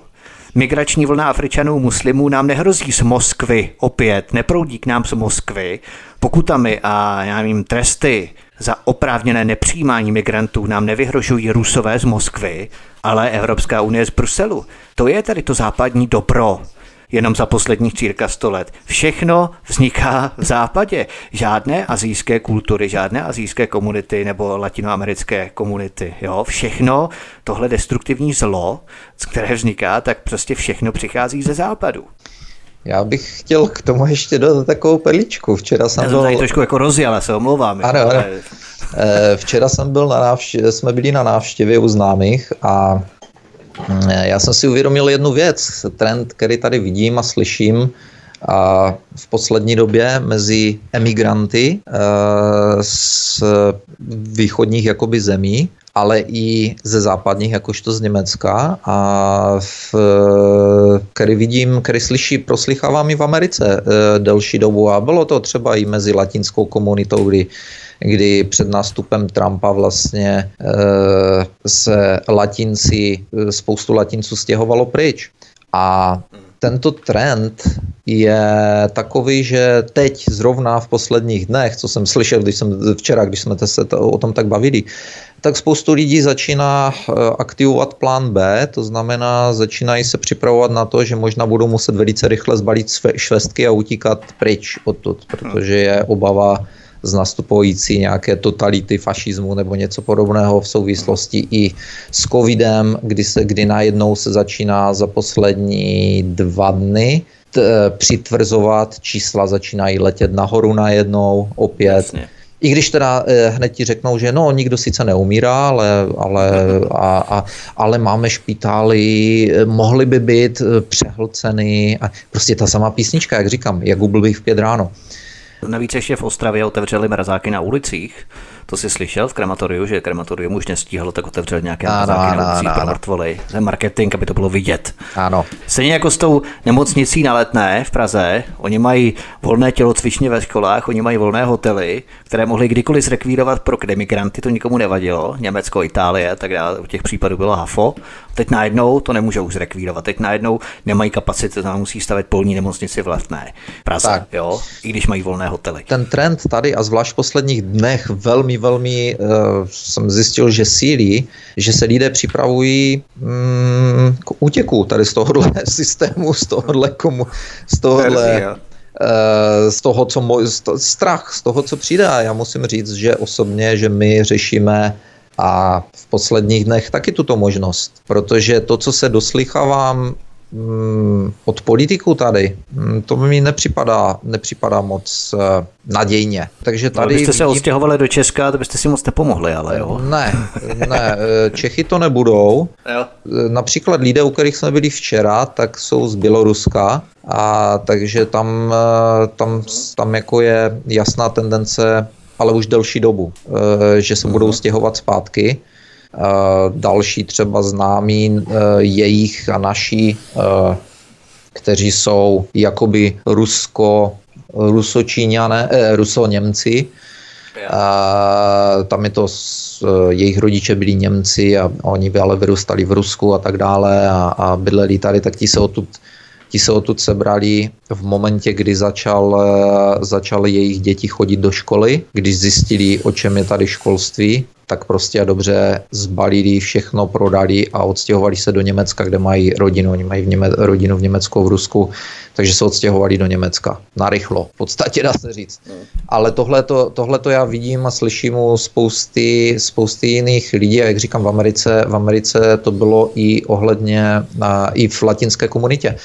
Eh, tady vidím, co se týká latinské komunity, v roce 2016 samozřejmě byli všichni proti Trumpovi, protože ten je proti Mexikánům, my tady máme spoustu známých Mexikánů, že jo, a, eh, ale v posledních, za poslední rok asi zhruba, spoustu z nich se otočilo a, plně, a podporovali Trumpa. A známá třeba, eh, známá z rodiny v Dallasu, tak my, eh, tak jsme se bavili teďka před pár dny a ona říkala, že u nich v práci ona dělá něco jakoby ve firmách human resource, to znamená něco jakoby osobní oddělení, má na starosti najímání, propouštění lidí a tak dále. Hmm, tak dále. Lidské zdroje se tomu říká lidské moderně. Zdroje. Okay. To už nejsou pracovníci živí, to jsou lidské zdroje. Jo, jo, jo. Takže uh, ona dělala, nevím v kolika korporací, v kolika korporacích prošli a říkala, řekla jednu zajímavou věc. Uh, než nastoupil Trump, tak v posledních letech za Obamy jsme prostě uh, firm, jsme prostě propouštěli, propouštěli, propouštěli a propouštěli. Říkala po 2016, po nástupu Trumpa, se, za, se vlna propouštění začala zastavovat a za poslední, já nevím, jestli dva roky, uh, prostě přijímali, přijímali, Přijímali, přijímali. A teď e, říkala, se neví. Teď říkala, že panuje obava mezi korporacema, že, e, že prostě zas, že se to asi zase obrátí na časy Obamy.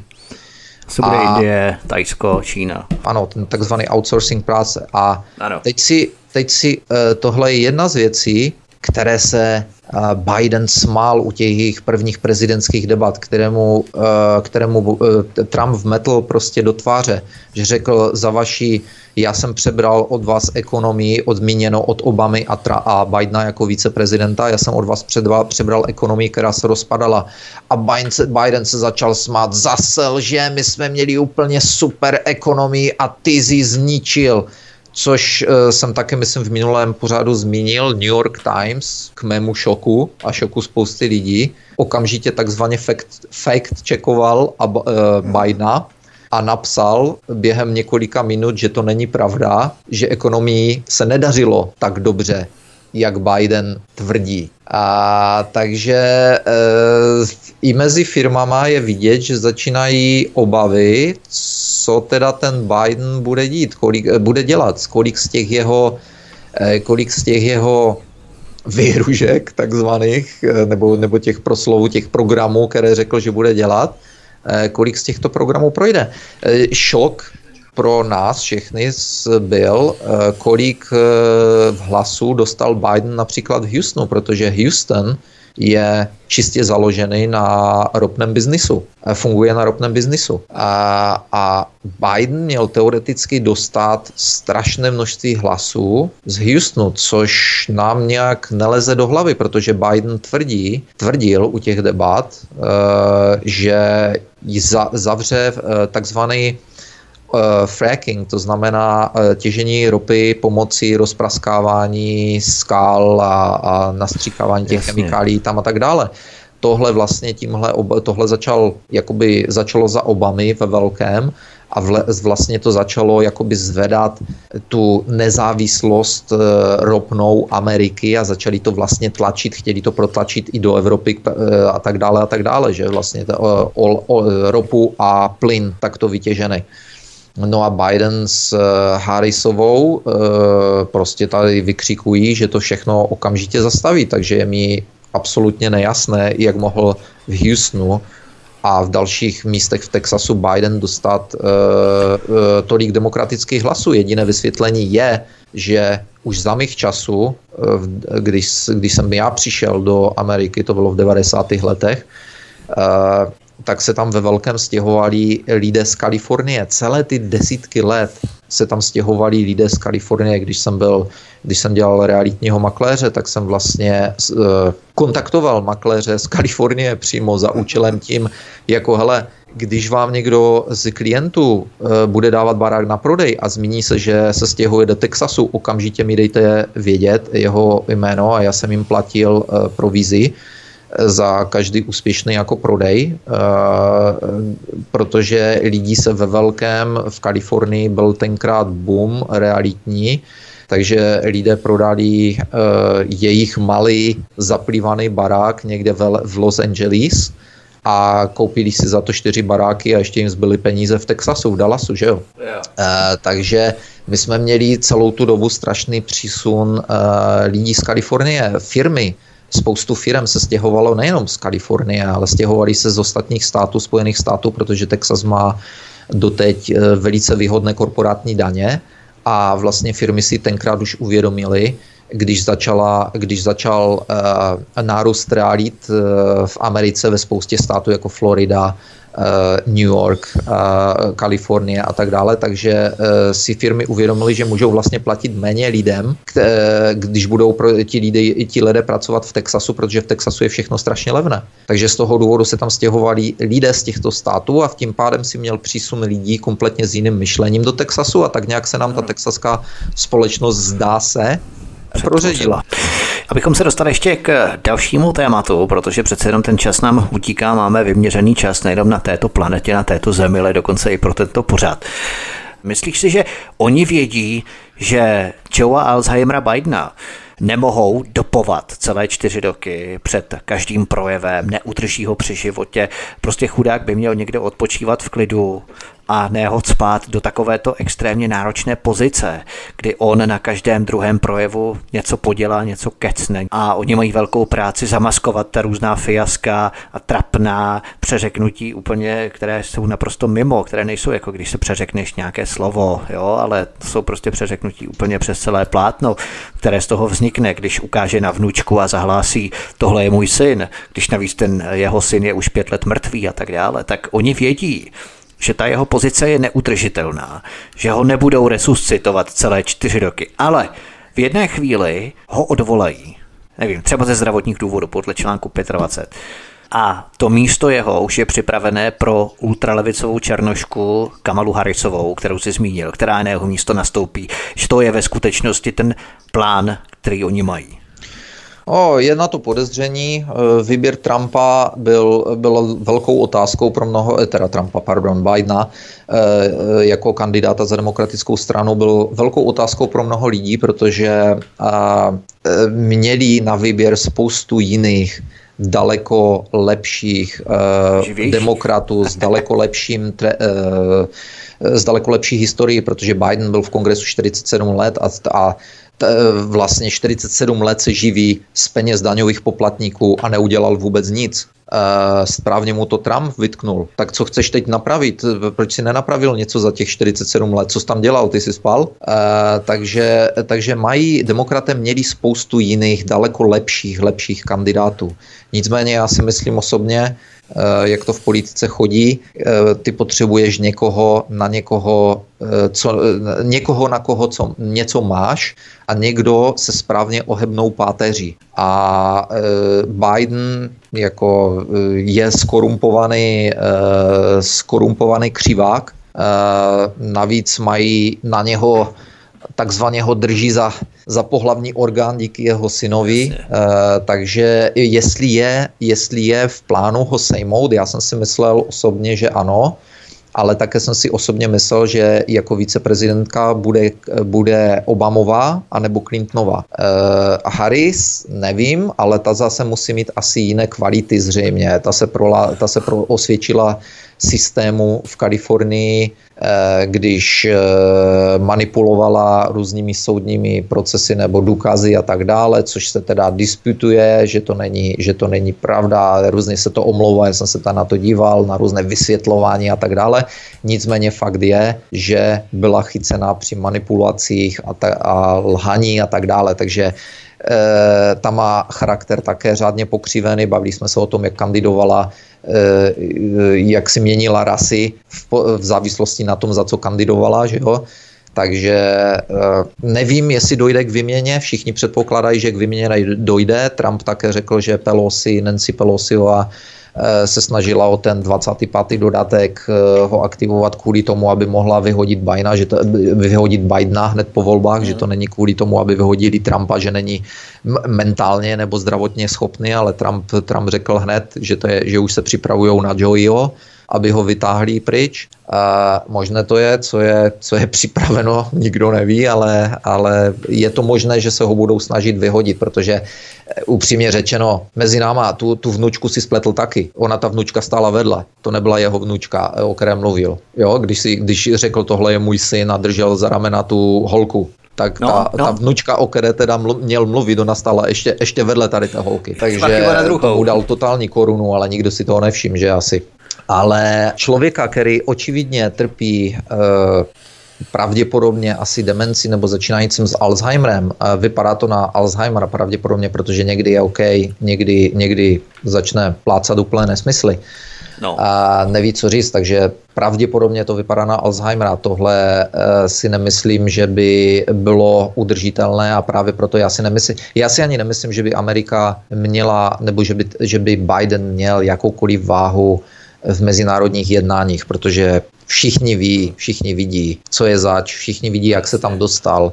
A Biden, OK, dokázal vyhrožovat některým lidem, protože měl za sebou váhu, má za sebou váhu amerického dolaru, má za sebou váhu americké armády, pořád ještě je to rozhodující fakt v mezinárodních jednáních ale mám takové tušení, že asi by eh, spoustu zemí nebralo takovou administrativu vážně, takže já si myslím, že nastoupí Kamala Harris a kdo se stane viceprezidentem, v tom případě těžko říct.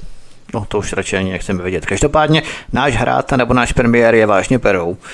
Vidíme, jak to bude dál. Já si myslím, že téma amerických voleb bychom už mohli pomalu ukončit, protože o tom bylo řečeno tolik věcí hrozba korespondenčního hlasování je každému více než jasná a netřeba tady uvádět všechny ty demo zkoušky v Rakousku, kde ten systém zajížděli a ještě to neměli perfektně zmáknuté a v některých obcích bylo najednou o 300% více lidí, eh, víc než počet obyvatel v té vesnici, kteří tam reálně žijí. Už eh, bychom se zbytečně opakovali a plýtvali bychom tak vysílacím časem, i když eh, tu máme ještě dost zajímavých témat, nebo minimálně dvě zajímavá témata.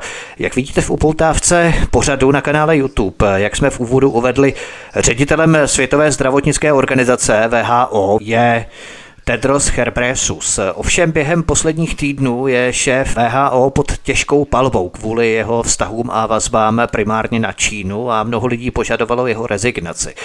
Kdo je tedy tento muž, dříve ministr zdravotnictví v Etiopii a teď najednou předseda Světové zdravotnické organizace, která má ve svých rukou osud nás všech.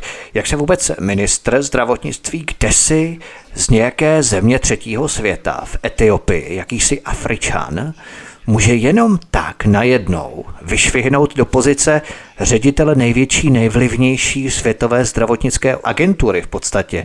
Dokážeš si to vysvětlit? Celá jednoduše. Stejně tak, jako se stal prezidentem eh, Rockefellerovy nadace nějaký pan Šách, Int, stejně tak jako e, se stala premiérkou Nového Zélandu, teď si nespomenu, jak se jmenovala, bavili jsme se o tom, jak se jmenuje, bavili jsme se o tom e, v našich minulých pořadech. E, tito lidé mají společného to, že z ničeho, z nikoho, kolikrát se z nich stal někdo, ale všichni měli společného jmenovatele Bill a, Gates, Bill a Melinda Gates Foundation. Z nějak, někde se vždycky okolo této nadace otřeli Eh, někde tam, někde tam poblíž se pohybovali a v podstatě u spousty dalších lidí na spoustě dalších míst vidíme, že dneska už nezáleží na jejich, eh, na jejich eh, znalostech nebo schopnostech a zkušenostech a tak dále, ale musí to být, musí to být ti správní lidé, se správně projeveným opět, se správně pokřiveným charakterem, který se v minulosti musel nějak projevit a tito lidé jsou potom zvoleni do těchto pozic právě pro své v uvozovkách kvality. Že jo, Tedro, eh, tady tento pan eh, Tedros není v podstatě eh, ani doktor, tak jako nebyl Kim, prezident světové, eh, eh, prezident světové banky neměl nikdy nic společného s nějakou ekonomií, s financema nebo s biznisem. Byl tam dosazen, byl tam silně protlačován Obamou. Takže tohle je tohle je něco podobného.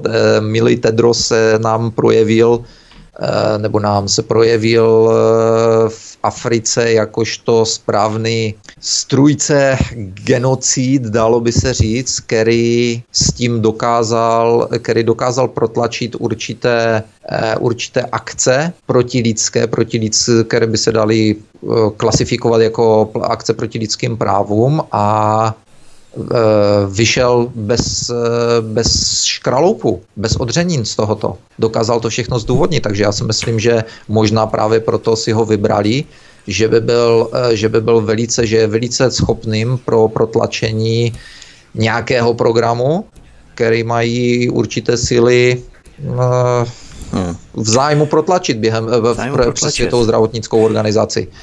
Prostě mají ho třeba na špinavou práci, něco jako tak. Hashim Tači z UČK dříve, tak. protože oni ho taky drželi při moci, nevím, 12-15 let v Kosovu a najednou byl zatčený. Oni ho tam 15 let drželi u moci a najednou si uvědomili, že měl podíl na prodeji orgánů a na prostě zločinech proti lidskosti. Jo. Po 15 letech, kdy ho tam drželi, najednou si to uvědomili a už je v háku. Ten Tedros Herbresus je možné, že právě k těmto špinavým operacím je použitý a potom bude odhozený jako spoustu těchto nekvalifikovaných takzvaných takzvaných kádrů, kteří jsou dosazeni opravdu na ty nejvyšší funkce globalistických organizací. K těm eh, genocidám v Africe, v Etiopii se potom dostaneme, protože to je velmi krvavá historie. Nicméně začneme protože toho spousta lidí zná, tak bychom mohli začít od něj, od doktora Anthony Fauciho, hlavního amerického epidemiologa. Totiž Anthony Fauci je ředitelem Národního institutu pro alergie a infekční nemoci. No a v roce 2018, ještě dlouho před začátkem takzvané pandemie koronaviru COVID-19 v roce 2018, i když víme, že Světová banka potom si objednávala nějaké kety a sady právě na testování COVID-19, ale to je jiná opera, tak v tomto roce 2018 tento doktor Anthony Fauci, hlavní americký epidemiolog a samozřejmě poradce Donalda Trumpa, podepisuje s ředitelem VHO Tedrosem Herbresem memorandum porozumění mezi tímto americkým národním institutem pro alergie a infekční nemoci a Světovou zdravotnickou organizací. A teď dobře poslouchejme. S cílem posílit budoucí spolupráci na výzkumných činnostech prováděných v reakci na vznikající ohniska infekčních chorob a mimořádné události v oblasti veřejného zdraví. Takže už v roce 2018 doktor Anthony Fauci a ředitel VHO Tedros Herbresus najednou začínají zkoumat, záhadná vznikající ohniska infekčních chorob a záhadné mimořádné události v oblasti veřejného zdraví. A to si uvědomme, že Tedros Herbresus byl do VHO zvolený jako generální ředitel v roce 2017 v květnu a ještě se tam ani neohřál. Za necelý rok a hlavní epidemiologický poradce prezidenta Donalda Trumpa s ním podepisuje memorandum o společném postupu při zkoumání mimořádných ohnisek a tak dále. Jaká vznikající ohniska a mimořádné události měly v roce 2018 na mysli podle tebe dva roky před vypuknutím hlavní epidemie nebo pandemie takzvaného COVID-19. Dokážeš to odhadnout, protože to jsou velmi znepokojující informace tohle. No, ono je tady toto vždy omlouváno nebo, nebo vysvětlováno e, tím samým způsobem, jak bylo, e, jak by se dal vysvětlit proslov e, bývalého ex-prezidenta Kima v onom Rockefellerově online meetingu, eh, kdy řekl, že daleko ještě, hor, že ještě horší a daleko nebezpečnější virus než eh, koronavirus už je na světě. A to o tom jsme se bavili. Ono se, ono se, řík, no. ono se říká, že, eh, že prostě tyto tyto viry, tyto pandemie prostě a dobře budou, budou přicházet, že to, je, že to je nezastavitelné, že to je prostě přirozený proces, že díky tomu, že cestujeme, po světě, že dneska lidi si můžou zaletět na dovolenou, kde chcou, a můžou se volně promixovávat mezi sebou, tak e, díky tomu se prostě ty víry kříží a mutují a jsou nebezpečnější a nebezpečnější, takže to je prostě to je prostě dané. To je prostě dané a tyto víry budou se objevovat a pandemie se budou objevovat a budou jenom horší a horší a horší. Tohle je mantra, kterou, eh, kterou si můžeš přečíst eh, kdykoliv, kdekoliv, eh, když jsou někoho poplývat, jako že někdo napsal článek, že je konspirační teoretik, nebo že někdo něco řekl, přesně to, co si řekl před chvílí, jak to mohli vědět v roce 2018. Takže by si byl by se setkal s, s velice hlasitým smíchem ze strany těchto lidí, kteří by ti řekli, eh, tak to je přece tak logické, jakože nic logičtějšího být nemůže. A takže mm, vysvětlení jak takovéto a eh, všechno ostatní je považováno za konspirační teorii a všichni teorie, ostatní jasný. jsou považováni za blázny. No, je to velmi zajímavé, protože to otvírá docela zajímavou otázku, kdy Donald Trump měl extrémní výhrady vůči VHO, Světové zdravotnické organizaci, dokonce přestal platit ty contributions, ty poplatky mezinárodní, roční příspěvky, nebo jak se to jmenuje, každé země této organizace, každá země, že platí VHO každý rok nějakou částku, on eh, to přestal platit. A jeho hlavním poradcem, hlavní epidemiolog dr. Anthony Fauci, podepisuje už v roce 2018 memorandum o společném výzkumu s ředitelem VHO Tedrosem Herbresem. Myslíš, že nás celou dobu Donald Trump tahal za nos, nebo o co tam jde podle tebe v zákulisí? Protože to je úplně opačné. Jo? Eh, to je jedna z těch věcí, o kterých jsme se uh, už bavili hodněkrát předtím, kdy uh, ono bude záležet, že Trump není Bůh a není, uh, ne, nevidí úplně všechno, uh, co mu je, nebo neví všechno o, vš, o, o všem, co mu je předloženo k podpisům nebo, nebo, nebo ke schvalování. O některých věcech třeba nemusí vůbec ani vědět. A nebo je mu to vyloženo jinak, záleží, jaké tam má poradce, kdo mu je infiltrován jako poradce a tak dále a tak dále. Takže já bych neřekl, že Trump je všemohoucí bůh, tak samo jak Putin není všemohoucí bůh, že by měl vědět úplně o všem, co se děje v Rusku nebo co dělají jeho, z jeho vlády lidé a tak dále. Takže já, já bych zatím neví, já bych neřekl, netvrdil bych, že by Trump hrál na dvě strany. Může hrát na dvě strany, je to, je to politika, něco musí, něco musí odevzdat, aby mohl něco dostat. E, třeba například teďka je na Netflixu a vynikající show, jmenuje se to Borgen. Je to z eh, Dánska, mám tušení. A je to o politice, je to o tom, jak se stala uh, jedna politička vlastně nechtěně uh, premiérkou. A teď Počkej, jsou... ty umíš dánsky, nebo to je Ne, to je, v, to je v, angličtině. A uh, je tam krásně, ale, ale absolutně, já jsem úplně úplně nadšený z toho, jak je tam krásně vidět, jak to funguje mezi politickými stranama, jak vlastně ta politika funguje. A pro moji manželku je to šok, která tady toto vidí, když ví spoustu věcí. Pro mě to byl šok, když já jsem tady tyto věci začal zjišťovat, kdy, eh, kdy jsem byl vystaven eh, v určitých letech eh, některým, některým takovýmto lidem nebo, nebo některým takovýmto a, informacím, jak chodí, jak chodí tyto věci vevnitř. A tato show to krásně vystihuje, takže Tady není řečeno, že nějaký premiér nebo nějaký prezident musí absolutně o všem vědět a musí absolutně všemu rozumět. Tak samo jako je se dá zmanipulovat kohokoliv z nás, když se na nás vrhnou profesionálové, tak se dá zmanipulovat prezident. A je třeba si opět uvědomit, že prezident Spojených států je prezidentem jedné z největších mocností, nejvlivnějších mocností na světě. Takže když se rozhodne někdo ho zmanipulovat, aby ho nějakým směrem natočil, tak si můžeš být jistý, že to jsou ti největší profesionálové z největších profesionálů. To je pravda. V podstatě politické strany hnutí jsou fasádami 50 odstínů šedi pro globalizačně orientovaných celků a v podstatě liší se opravdu drobných odchylkách, niancích a to hlavní mají všechno stejné. Tedros Herpresus a právě možná k tomu se dostaneme, ono se to v podstatě i prolíná, má ještě další pozoruhodné vazby. Totiž mezi lety, a to se právě dostáváme do té Etiopie, a tu historii, opravdu jeho historii bych chtěl teď probrat, protože to je velmi zajímavé a spoustu lidí to otevře oči. Mezi lety 2009 až 2011 byl Tedros Herbresus, šéf VHO, také ředitelem globálního fondu programu boje proti AIDS, tuberkulóze a malárii, který iniciovala nadace Billa a Melindy Gatesových. Ale také je úzce spojený s Clintonovou nadací a Clintonovou iniciativou Clinton Charity AIDS Initiative.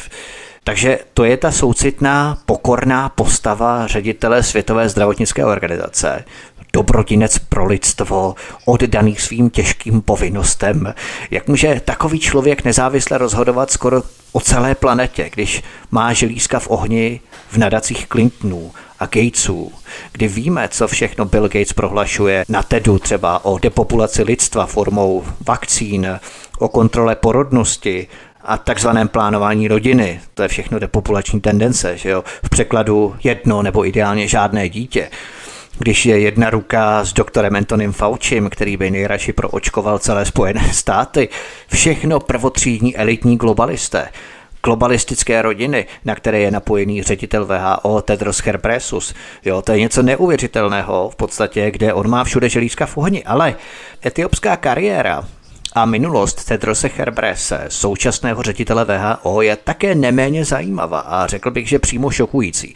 Eh, jak si tady správně zmínil, on se narodil 3. března 1965 v etiopské Asmaře a jeho politická kariéra začala v lidové osvobozenecké frontě Tigrejců, anglicky Tigray People's Liberation Front.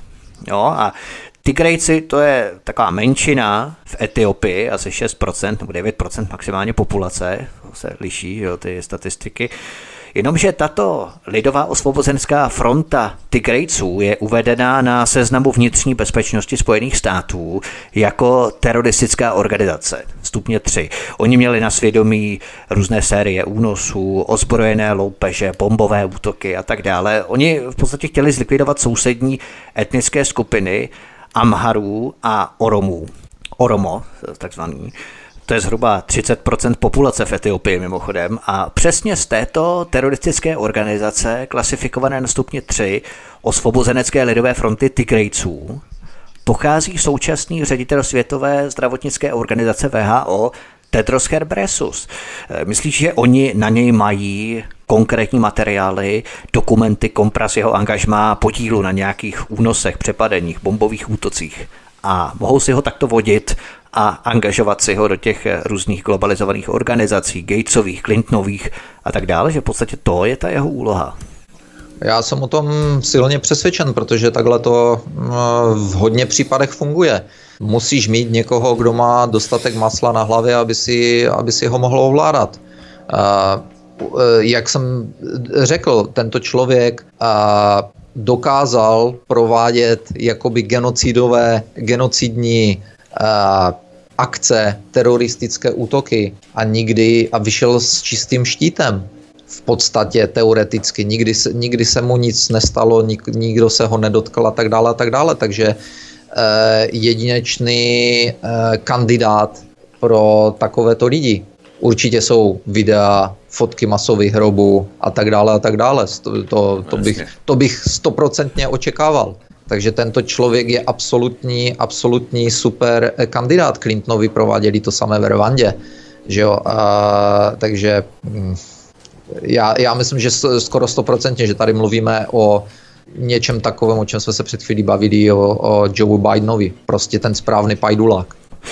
To je neskutečné svinstvo, co na něj musí mít opravdu, protože oni jsou teď ctihodné autority, protože tahle lidová osvobozenecká fronta Tigrejců se v roce 1991 přejmenovala, respektive oni převzali moc a přejmenovali se, aby se sebe smili ten cejch té teroristické organizace, tak oni se museli nějak angažovat v politice, že jo, legitimizovat, jako ti mafiány v těch dalších generacích. No tak oni se přejmenovali na stranu Etiopské lidově demokratické revoluční fronty. a už podle názvu můžeme soudit, že šlo o tvrdě marxistickou stranu. No a této bývalé teroristické organizaci Tigrejců, která se převlékla a přebarvila, legitimizovala se v politice na regulární politickou stranu, hezky se kvůli tomu přejmenovala, tak najednou přichází obří pomoc ze západu. To je taky zajímavé. Z Evropy a Spojených států amerických nejprve ve výši 3,5 miliard dolarů což bylo zhruba 60% tehdejšího státního rozpočtu Etiopie. Jo? A mimochodem financovala je taky Evropská unie v rámci programu mezinárodní pomoci. Jenomže tato převlečená teoretická politická organizace s ministrem zdravotnictví Tedrosem Herbresem tehdy, že on se stal ministrem zdravotnictví, jedno z klíčových ministerstev, jo, tak eh, oni začali provádět genocidu na etnické skupině Amharů. Tato etnická skupina měla v roce 2007, jen pro srovnání, o 2,5 milionu lidí méně než před deseti lety v roce 1997. Zatímco ostatní etnické skupiny rostly meziročně o 2,6%. Amharové měli pomalý růst jenom 1,9%. Byly jim odpírané různé zdravotní služby, programy, kampaně neměli stejné peníze, stejné zdroje na zdravotnictví jako vedoucí skupina Tigrejců tehdy. Tedros Herbresus jako ministr zdravotnictví rozjel antikoncepční kampaň Amharů a tady se právě dostáváme k tomu, protože oni jim ordinovali injekce zvané Depo-Provera. Depo-Provera je úplně hrozné svinstvo. Ve Spojených státech v Evropě je dokonce zakázané, protože tu hrozí zvýšené riziko osteoporózy, zvýšené riziko výskytu rakoviny prsu. Ale také se vyskoumalo, že tahle antikoncepce Depo-Provera, kterou oni píchali do těch amharů, jo, měla za následek obtíže k obnovení plodnosti. Když eh, žena tuhle antikoncepci vysadila a rozhodla se mít dítě, tak tam byly vysoké potíže, aby mohla být žena znovu gravidní, aby mohla otěhotnět. A dokonce byl objevený nárůst případů AIDS, spojených s touto antikoncepcí. Jo, to všechno bylo v podstatě vyzkoumané. Tady já to mám poznámkový aparát, na to odkazy. Když někdo bude chtít, tak pošlu asi 30 nebo 35 odkazů. A ministr zdravotnictví Tedros Herbresus tehdy v rámci té převlečené teroristické organizace, teď politické strany, ctihodné politické strany Tegrejců, kterým pomáhala Evropská unie, kterým pomáhaly Spojené státy, tu etnickou skupinu Amharů píchal tímto svinstvem přes 10 let, 97 až 2007. A Amharové ztratili 2,5 milionu lidí. A teď si vím, že v Evropě a Spojených státech byla antikoncepce Depoprovera zakázaná ale stále je zahrnutá do plánování rodiny Světové zdravotnické organizace a programů, jako je FP 2020, které podporuje a vede nadace Melindy a Billa Gatesových. no proč? Protože šéfem VHO je Tigrejec, Tedros Ghebreyesus, který to svinstvo jako minister zdravotnictví v Etiopii tehdy vyzkoušel už v té Etiopii. Jo? A on v podstatě to má zahrnuté ještě do těch zdravotních programů VHO, i když je to zakázané v Evropě a v Americe. Jo? Když se prokutáváš těmi materiály, to je opravdu neuvěřitelné, co oni si dovolují, jaká svinstva mají na svědomí. A nikdo o tom neví, nikdo se o to nezajímá. Jo? Takže krátce zhrnuto e, můžeme říct, e, bavili jsme se o tom už kdysi, když jsme mluvili o vakcínách, že vlastně tohoto jsou zkuše, e, laboratoře, zkušební laboratoře e, Gatesu, a tak samo, jako jsme se bavili o Latinské Americe, kdy v Latinské Americe, myslím, že v Mexiku, to, jsem to tenkrát říkal, že doktoři zjistili přesně, že po nějakých vakcínách e, byly ženy neplodné a tenkrát se to omlouvalo tím, jestli si pamatuje, že jim, eh, že jim v laboratoři se musela na vrchní polici převrátit zkumavka s něčím a vylilo se to do, těch, do té zkumavky s těma ostatníma vakcínama a tak dále.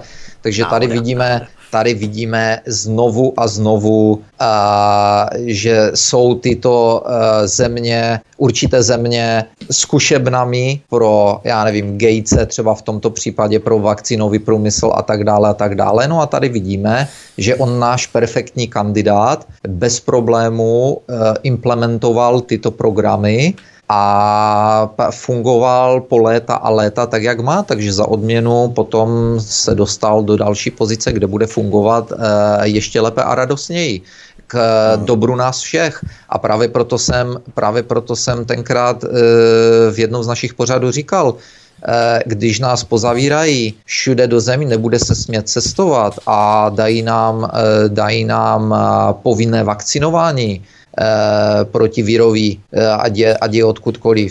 Jste si jistí, že ta, eh, tím, co bude v té vakcíně, není, nebyl by to čistě konspirační teorie, čistě konspirační teorie, čistě taková velice šílená úvaha.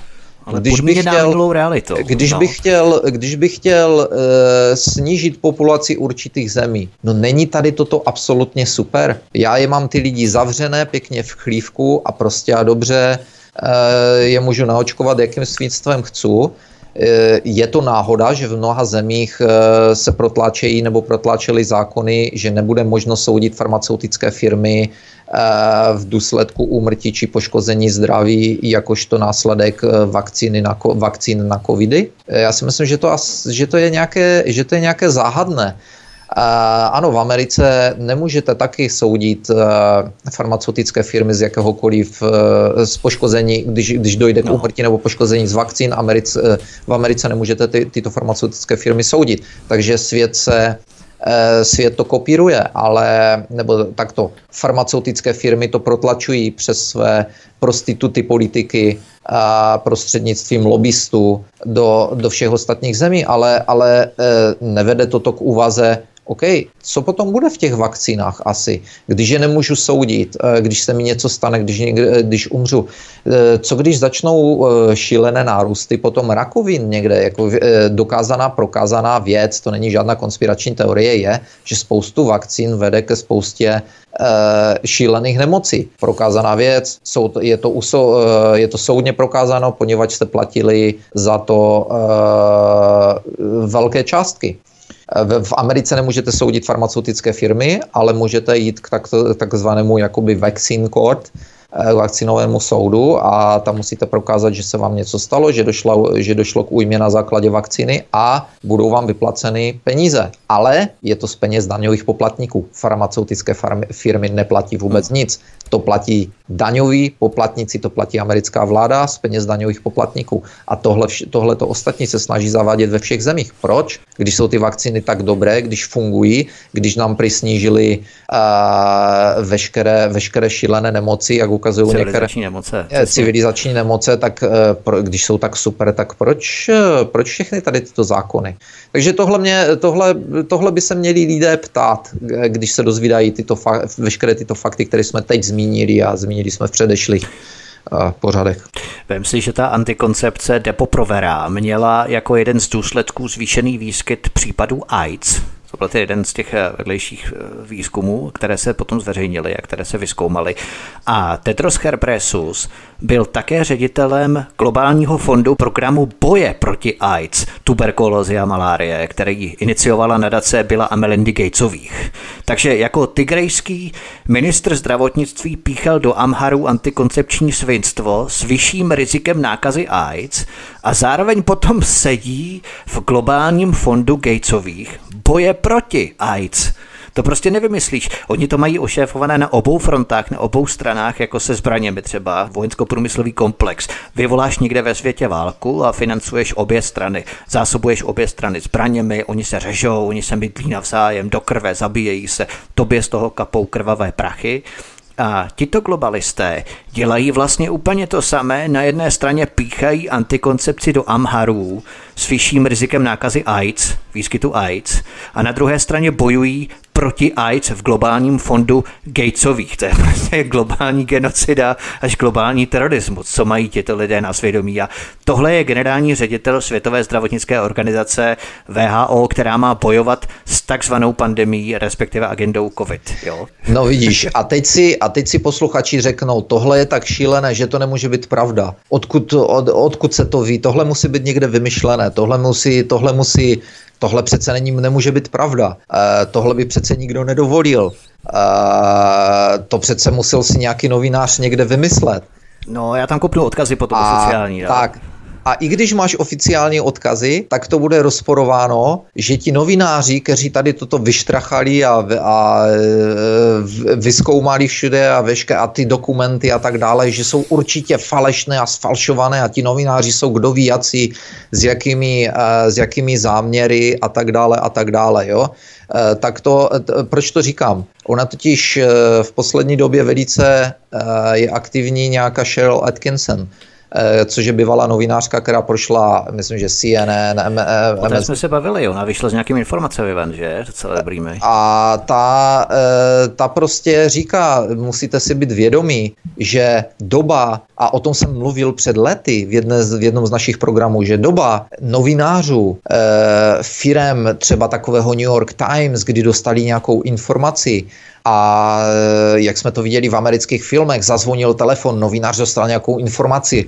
lapl to sako a vyběhl z toho, vyběhl z té budovy toho New York Times a zamával na taxíka, skočil tam a jel vyšetřovat a padla z toho vláda. Na to dávno zapomeňte. Takhle už to nefunguje ani nešťastnou náhodou. A přesně takovýto novináři jako Cheryl Atkinson, nebo v poslední době, kdo e, promlouvá hodně, e, kdo má spoustu pořadu, ale celou dobu byl jakoby e, tradiční američan patriot Lou Dobbs, který kdysi dělal pro CNN, když jsem bydlel v Americe, tak dělal pro CNN, měl pořady na CNN, poté eh, znechuceně odešel od CNN, on dneska je na Fox News, eh, což, což máme eh, kde jsou taky otázky, zvláštně v posledních dnech, kdy Fox News začala vehementně prohlašovat Bidena jako vítěze v Arizoně a přitom, přitom bylo spočítané nějakých 46% hlasů nebo podobně. Ale Uh, takže když se lidé budou ptát, když lidé se pozastaví a řeknou si, to není možné, to není, to, to, tohle, vy, vy, jste jak, vy, vy jste nějaký konspirační uh, web nebo konspirační rádio, tohle jsou přece tak Jasně. uhozené věci, že to, nemůže být, že to nemůže být pravda. Kolik takto uhozených věcí se v minulosti, které byly takto uhozené v minulosti, kolik, kolik se jich provalilo?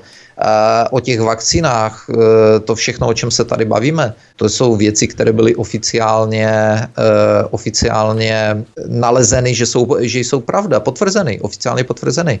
Ale v dnešní době je snaha i tyto oficiální potvrzení prostě a dobře zhazovat ze stolu. Tak samo, jak je snaha převracet, převracet historii. Cenzura tichem. Nebo Mimochodem, Tedros Herbresus se po roce 2012 stal ministrem zahraničí v Etiopii. On tedy byl ministrem zdravotnictví a potom přešel plyn další klíčového ministerstva, ministerstva zahraničí. To znamená, nikdo nemůže prohlásit, že to byl nějaký okrajový politik, který s tím neměl nic společného. Byl to kmenový politik, který byl v těch úplně nejklíčovějších ministerstvech zdravotnictví, zahraničních věcí, znamená diplomacie, jo, etiopská a tak dále. To bylo v podstatě jádro té politiky, té přetvořené teroristické strany, lidově osvobozenecké fronty. A tady jsou ty jeho vazby na Čínu to se dostáváme k finále, protože Čína udělala obrovské investice v Etiopii. V nějakém z předchozích pořadů jsme se bavili, určitě si vzpomínáš na to, jak Číňané investují v Africe, to je Kenia, to je, já nevím, Nigérie, mám takový pocit, a další země, kde obrovsky investují Číňané a jednou z těch zemí, kde Číňané podnikají obrovské investice, je právě Etiopie. Číňané postavili 70% etiopské infrastruktury a financují výstavbu sídla budoucího afrického centra pro prevenci a kontrolu nemocí právě v Etiopii. Jo?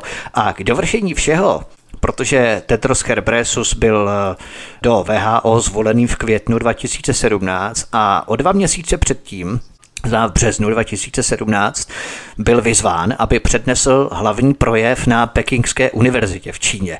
A na stejné přednášce Pekingské univerzity přednesl svůj projev také Bill Gates s názvem Pohled do budoucnosti, inovace, filantropie a globální vedení.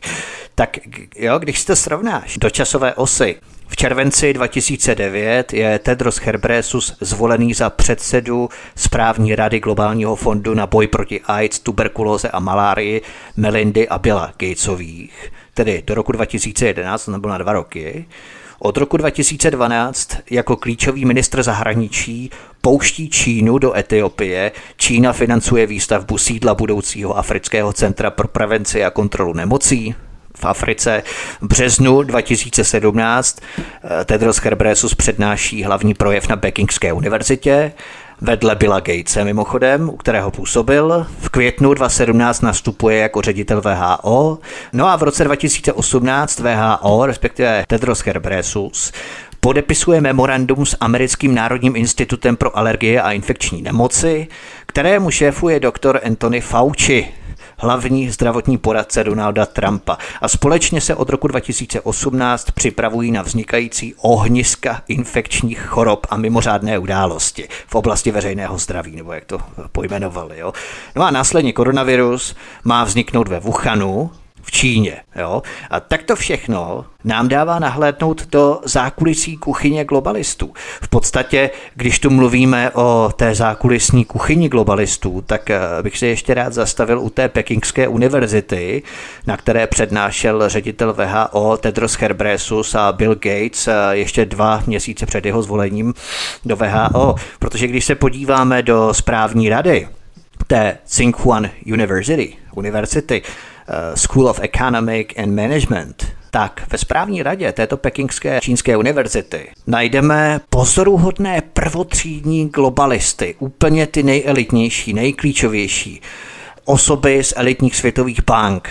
Henry Paulson tam sedí, generální ředitel Goldman Sachs, Jamie Dimon, JP Morgan ve správní radě té čínské univerzity, kde přednášel eh, Tedros Herbresus a Bill Gates, tak tam sedí ve správní radě také Mark Zuckerberg, pozoruhodně, šéf Facebooku, sedí tam Elon Musk, rakety, satelity, družice, společnost SpaceX, jo. Tim Cook, Lawrence Fink a generální ředitelé společností, já nevím, Dell, takové ty opravdu největší společnosti, Dell, IBM, Walmart, General Motors, BlackRock, jo, to je zase litium, že jo, pojení, a tito všichni elitní globalisté sedí ve správní radě Čínské pekingské univerzity, ve které přednášel šéf VHO dva měsíce před jeho zvolením, Tedros Herbresus nebo Bill Gates. Jo. A tuto univerzitu navíc, a to je úplně poslední hřeb, tuto univerzitu vede Wang Quishan. A to je viceprezident Čínské lidové republiky. tak ta provázanost předních globálních elit ze západu na Čínu a s námi tady hrají nějaké divadlo, že čínský virus z Wuhanu a nesmíme obchodovat s Čínou, protože Huawei a tak dál. A všichni ti přední západní globalisté těch největších západních firm sedí ve správní radě univerzity, čínské pekingské univerzity, kterou vede Wang Quishan, viceprezident Čínské lidové republiky. My to nemusíme spřádat nějaké divoké spekulace, teorie, byť logicky podepřené. Ono stačí jít po těch jménech, kde kdo sedí, s kým se setkává, kde přednáší, co vede, jaká je jeho minulost, s kým se kámošil. A ty parchanty, tam máme úplně všechny na jedné hromadě bez nějakých zdlouhavých zdrojování, co tihle všichni pohledávají v radě Čínské univerzity. Jo, to je spíš strategická rada globalistů, jo, než, než eh, cokoliv jiného. Já bych to nazval takovým moskevským institutem vysokého učení marxismu, leninismu, jako eh, nevím. Jako no. musí, musí eh, člověk se, člověka opravdu zarážejí ty, tyto, tyto spojitosti, když si uvědomí, jak velkou a jakou hru hrají firmy, eh, různé, eh, různí takovýto představitelé a banky a politici, kteří nadávají na komunistickou Čínu a hrozba no, a tak dále. No ale přitom, uh, přitom vidíš, že v zákulisí takzvaně kují nějaké záhadné pikle a tak dále. Uh, Všichni jsou kámoši. Kdo, a, ale, ale nejlepší na tom je, já to vždycky říkám uh, každému, uvědomujete si, že toto jsou lidé, kteří ovládají vaše životy a vy jste pro ně nikdy nevolili, ani nebudete mít šanci pro ně volit. Kdo, volil, kdo kdy volil pro Zuckerberga? Kdo kdy volil pro, uh, pro Gatese? Kdo kdy volil pro Elona Muska? Kdo volil kterého si zmiňoval Henry Paulson, eh, kdo volil pro Jamie Dimon, který je, takže kdo, kdo volil pro tyto lidi, z jakého důvodu politici poslouchají různé skupiny, různé, různé panely, různé lobbysty, různé, různé organizace, o kterých jsme se bavili e, minule ohledně těch republikánských organizací, o kterých jsem vůbec nevěděl. Eh, pořád si lidé myslí, že, vaš, pořád si myslíte, že vaši zvolení zástupci jsou opravdu vaši zástupci?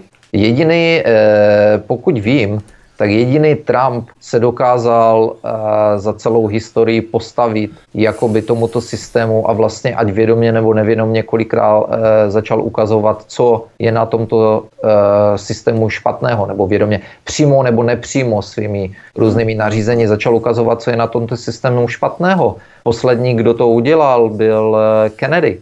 V Evropě, v Evropě, kdo se snažil zastavit tento systém, byl člověk, o kterém jsme se kdysi bavili nějaký Alfred Herhausen, který byl tenkrát ředitelem Deutsche Bank, že jo? Eh, blízký přítel Helmuta Kohla. A všichni skončili špatně. Trumpa teda ještě do Dallasu na projišťku v otevřené limuzině prozatím nevzali, ale a záleží, jak moc spolupracuje nebo nespolupracuje, jak moc je nebo není nebezpečný, ale ale díky Trumpovi začalo spoustu těchto věcí vycházet najevo. A co se Fauciho týká, Trump v poslední době začal uh, pronášet, uh, že jakoby degradovat Fauciho, mluvit o něm tak, jako že mávat nad ním rukou a v poslední... On něm řekl, že je dokonce idiot, v nějaký spor a on něm prohlásil, že je idiot o Faučím. Tak a v posledních jeho projevech vlastně už, už to jakoby se nebál říkat, že Fauci skončil a vlastně v jednou z posledních projevů před, před volbama, tak řekl, že řekl něco ve stylu eh, pandemie skončí 4.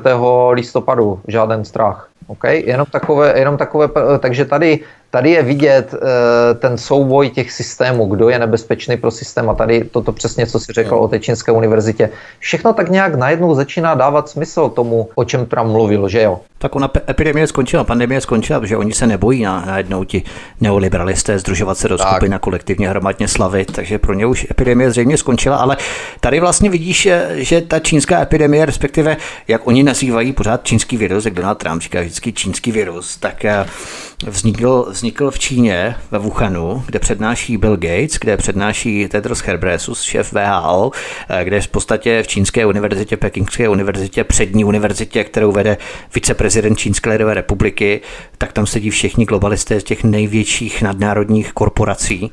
Tak když to vlastně všechno srovnáš dohromady, tak já nevím, něco tam opravdu smrdí v rámci toho viru, eh, kde vlastně vůbec vznikl a co je jeho příčinou a co má vlastně ten virus provést z naší civilizací, s transformací naší civilizace, urychlit procesy nějaké a tak dále. Ale abychom se ještě nakonec, nezbývá nám tady moc času, ale bohužel vypravili ke Kanadě, tak jsem slyšel, že v Ontáriu, myslím, v této části Kanady vznikají detention camps, takzvané internační tábory, nebo nevím, jak bychom to mohli přeložit. Jaké jsou vlastně skutečnosti o těchto táborech? Co to má být za tábory vlastně? Eh, skutečnosti eh, nevím poněvadž jsem eh, kontaktoval pár politiků a média. Eh, bylo to na základě videa z eh, parlamentu vlády v Ontáriu. A kde se, kde se jeden z poslanců ptal místního ministra, co je na tom pravdy, že vláda kanadská má program, z kterého citoval, že se, že se, že se vyčlenili peníze na budování takzvaných internačních kempů, jak si řekl, nebo prostor pro internaci. Koho? Eh, na to se ptal, kdo se tam bude no. internovat. Eh, budou se tam internovat lidi, kteří mají covid, nebo to je pro někoho jiného, nebo, nebo pro koho to je. Eh, Minist, onen ministr mu odpověděl, neodpověděl, byla to odpověď, neodpovědět, neřekl, odpověděl mu a neřekl vůbec nic, uh, ani slovem se nedotkl, slov, ani sl, nezmínil, ani slovo internační kempy nezmínil, jenom tam začal blekotat, že oni, ona karanténa 14 denní požadovaná v Kanadě, když se kdokoliv, kdo se vrátí nebo přijede do Kanady, že se projevuje jako dobrá, a že, že prostě na tom není nic špatného, na té karanténě a tak dále a tak dále. Jo, ale, ale neřekl mu, my, my budujeme tady toto z důvodu karantény nebo, nebo, nebo chceme to udělat pro lidi, lidi, kteří nemají kam jít. Neřekl ani slovo, takže ten poslanec znovu dostal slovo a znovu se, znovu se ptal na detaily a oni houtli, vypnuli mu mikrofon. Další, další otázka, takže, no, eh, takže, mají co skrývat asi. Eh, takže to je trochu strašidelné. Eh, tudíž začalo se to roz, rozesílat mezi lidmi, začali o tom psát tady alternativní servery. Samozřejmě z médií a od politiků se mi nedostalo žádné odpovědi, ani škrt, ani děkujeme, podíváme se, nebo polipte si šos, nic takového. Vyšla ale naše hlavní spravodajská organizace CBC, Canadian Broadcasting Corporation, tak eh, vyšla s článkem, což je něco jako vaše eh, česká televize, české rádio a tak dále. Eh, takže vyšla s dlouhosáhlým článkem, kdy se k tomuto vyjádřila, protože tlak lidí byl obrovský. A tady bych chtěl zdůraznit jednu věc. Vláda byla přinucena se k tomu jakoby vyjádřit prostřednictvím ministrině, kanadské ministrině zdravotnictví, díky tomu, že lidé využili toho, co se snažím být do hlavy každému v Čechách. Začali urgovat svoje místní volené zástupce, začali je bombardovat e-maily, telefonáty, eh, eh, návštěvama, návštěvama, protože spoustu z, z našich tady místních zastupitelů, eh, kteří nás zastupují v Otavě, mají tady kanceláře takže lidi je tam otravují. Samozřejmě ho tam nikdy nezastihnete, protože honorary Mr. nebo Mrs. tady zastupitel někde v uh, háji a není zrovna... Mezi voliči. Není zrovna, a tak, tak, tak, tak. A není zrovna k zastoupení, anebo je v Otavě. Uh, co si můžete jednoduše zjistit uh, na jeho rozvrhu a zjistíte, že v Otavě vůbec nemá být v tomto čase, ale on to tak dobře s váma myslí, že tam jede ve svém volnu. A, takže, takže tito lidé, tito lidé začali bombardovat své zastupitele s těmito dotazy a najednou se k tomu musela okamžitě vyjádřit eh, federální vláda, kanadská vláda. No, e, takže to bych chtěl říct posluchačům, tady máte svoji sílu. Dokud budete, když budete mlčet, mlčící většina, nic se nestane. Všechny zlé věci e, se dějí, protože byly dovoleny, protože, protože to bylo se svolením mlčící většiny. A e, takže kanadská vláda, kanadská ministrině zdravotnictví se k tomu vyjadřila tím způsobem, že to nejsou žádné detenční kempy, že to jsou prostory pro ty, kteří nemají kam jít během své 14-denní karantény, což by dávalo smysl, protože já jsem tady toto řešil před svým příletem v červnu do České republiky, kdy hrozilo teda, že budu muset jít do karantény a do karantény kam. Eh, když jsem... Tak já myslím, že ti dovolí přece jít domů a můžeš zůstat doma těch 14 no, dní, když přijdeš ze zahraničí. To bylo, eh, ano, ale co když jsi někdo, kdo přijede do Čech a žádný domov v Čechách nemá? Co když si někdo, kdo tam přijede, nebo já jsem řešil tady toto, když jsem letěl před, do, přes Británii totiž. Co když e, dojde ke zrušení letu, což docházelo v té době běžně, e, letěl si do Německa, v Německu ti řekli, o, do Čech nic neletí, hodně štěstí. A vykopli tě z letiště, to znamená, že si musel přejít přes, e, přes e, e, honem, celní zprávu. Jo. To znamená, že jsi šel do Německa, to znamená, že jsi byl, sub, sub, že jsi byl subject, že, jsi byl po, eh, po, že by si musel jít do té 14 denní karantény, kdyby ji tehdy v tom Německu měli. Kdyby se mi tohle stalo v Anglii, tak jsem musel jít do 14 denní karantény. Já jsem právě všechno tady toto zjišťoval, e-mailoval jsem ambasádám, letištím, a všem ostatním a nikdo mým nebyl schopný. Eh, eh, konkrétně Británii jsem se ptal, kam, eh, kam půjdu do karantény, když se mi stane, že mi přeruší, že mi zruší led a budu muset z Británie cestovat vlakem nebo autobusem. Kam půjdu na 14 dní do, do karantény? Vememe nějaký hotel? Nikdo nevěděl.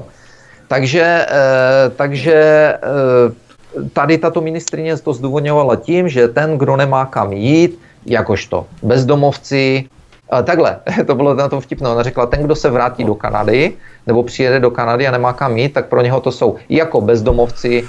Já si nepamatuju, že by nějaký bezdomovec letěl na, na dovolenou na Havaj a vrátil se zpátky, ale nevadí. A, takže, takže bezdomovce... Jestli to nejsou třeba i uprchlické tábory, mě teď napadá. Tak, jo? bezdomovce... Pro nově příchozí. No ale uprchlíci nejsou bezdomovci, že jo? A, no. takže, e, takže e, pro bezdomovce a pro lidi, kteří nemají možnost e, jít do nějakého hotelu a tak dále a tak dále, protože ne všechny hotely tě vemou, když přiletíš a, a jsem v karanténě, my tě vemem, no hou, na, na mas, houby s mákem, jako, nebo jak se to řekne, nevemou tě, protože jim takzvaně zavíruješ v tom případě celý hotel. Že jo? Takže jsou akorát hotely, které jsou vyčleněné. Třeba s hodou okolností, když jsem řešil tady ten problém v Čechách, že bych tam musel přiletět a musel jít do karantény, kdybych neměl uh, test na výrazné topíra, než tam přiletím, tak, uh, tak jsem zjistil, že třeba některé hotely v Praze absolutně bez problému tě vemou jo, v té době. Uh, takže e, a jo, přímo jsem se jich ptal, já jsem e-mailoval přímo na, ten, na ty hotely a, a řekl jsem, jaká situace, že budu muset do karantény. Ano, není problém, uh, bez problému. Jo, takže OK, dobrá. Uh-huh. Některé hotely brali, Tady, eh, tady s tímto se může vyskytnout problém, tudíž tak toto zdůvodnila kanadská ministrině zdravotnictví, že to jsou všechno bláboly, které se tady rozšíří mezi lidmi rychleji než virus, řekla naše No ano, ale oni si o to koledují, protože proč by ten poslanec na začátku tak nechutně mlžil, Přesně. vzali mu slovo, v podstatě neodpovídal. Přesně jo? Tak, tak. Oni si myslím, že nerychle něco museli vymyslet, protože přece to mohlo říct už na začátku a tím oni v podstatě si vyrábí ty hoaxy, oni mlží, oni mlčí kličkují jak zajíci a potom se diví, že si lidi něco vymýšlí a něco domýšlejí. No tak jasně, když nic neřeknou, jo. Už to je podezřelé. Přesně tak to je. A navíc Kanada má historii s jejich, deten, eh, s jejich detenčními centry a tak dále, protože eh, kdysi taky před lety, před lety jsem se zmínil v jednom z našich pořadů, myslím, eh, o plánu, který objevili někde tady před, já nevím kolika lety, Eh, na detenč, detence na rozdělování, zatykání a rozdělování rodin při, rodin, rodin příslušníků, kteří sympatizovali s komunistickou stranou v Kanady. A tento plán byl pravidelně každý rok obnovován, měli vytipované třeba, v, myslím, že to našli jako v Torontu, měli vytipované budovy, zařízení, různé věznice a tak dále, kde, kam, koho rozdělí jmené seznamy těchto rodin a jejich rodinných příslušníků, kdo kam půjde a tak dále. Takže ona to není jako žádná sranda. Tohle by člověk očekával v Sovětském svazu, ale ne v Kanadě. No jasně. Takže, no, jasně. takže Kanada má s tímto, teď, teď ještě všichni víme, jak se v Kanadě, Kanaděné chovali k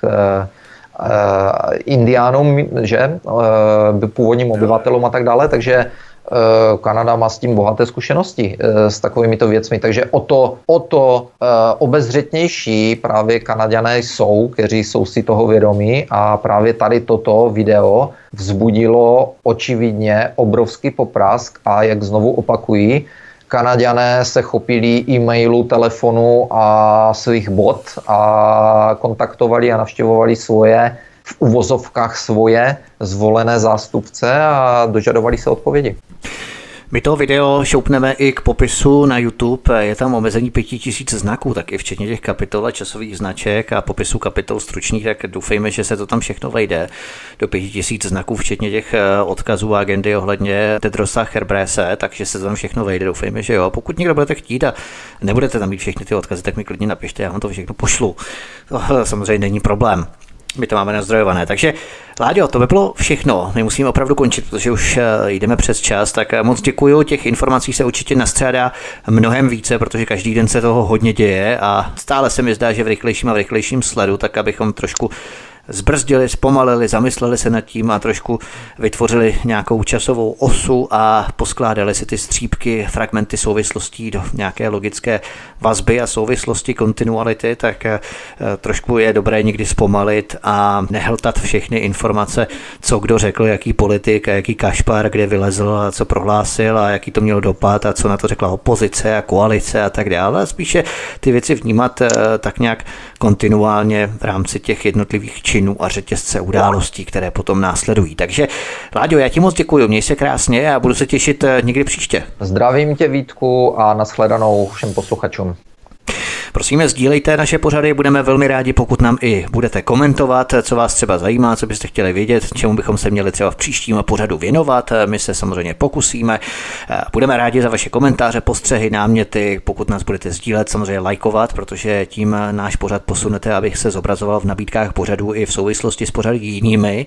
Takže budeme rádi, když nás budete sdílet, lajkovat samozřejmě a budete nám komentovat naše povídání a zajímavosti nám třeba některé pošlete. Takže to by bylo všechno od mikrofonu vás zdraví Vítek. Prosím, klikněte na tlačítko vpravo nahoře na přihlásit k odběru, abyste odebírali tento kanál, to je velmi důležité. A potom stihnete všechno, co budeme i v budoucnu vysílat. Pořady nejenom s Láďou z Kanady, ale i s dalšími zajímavými hosty, které pro vás na svobodném vysílači chystáme. To by bylo všechno, mějte se krásně, hezký večer. Prosíme, pomožte nám s propagací kanálu Studia Tapin Radio Svobodného vysílače CS.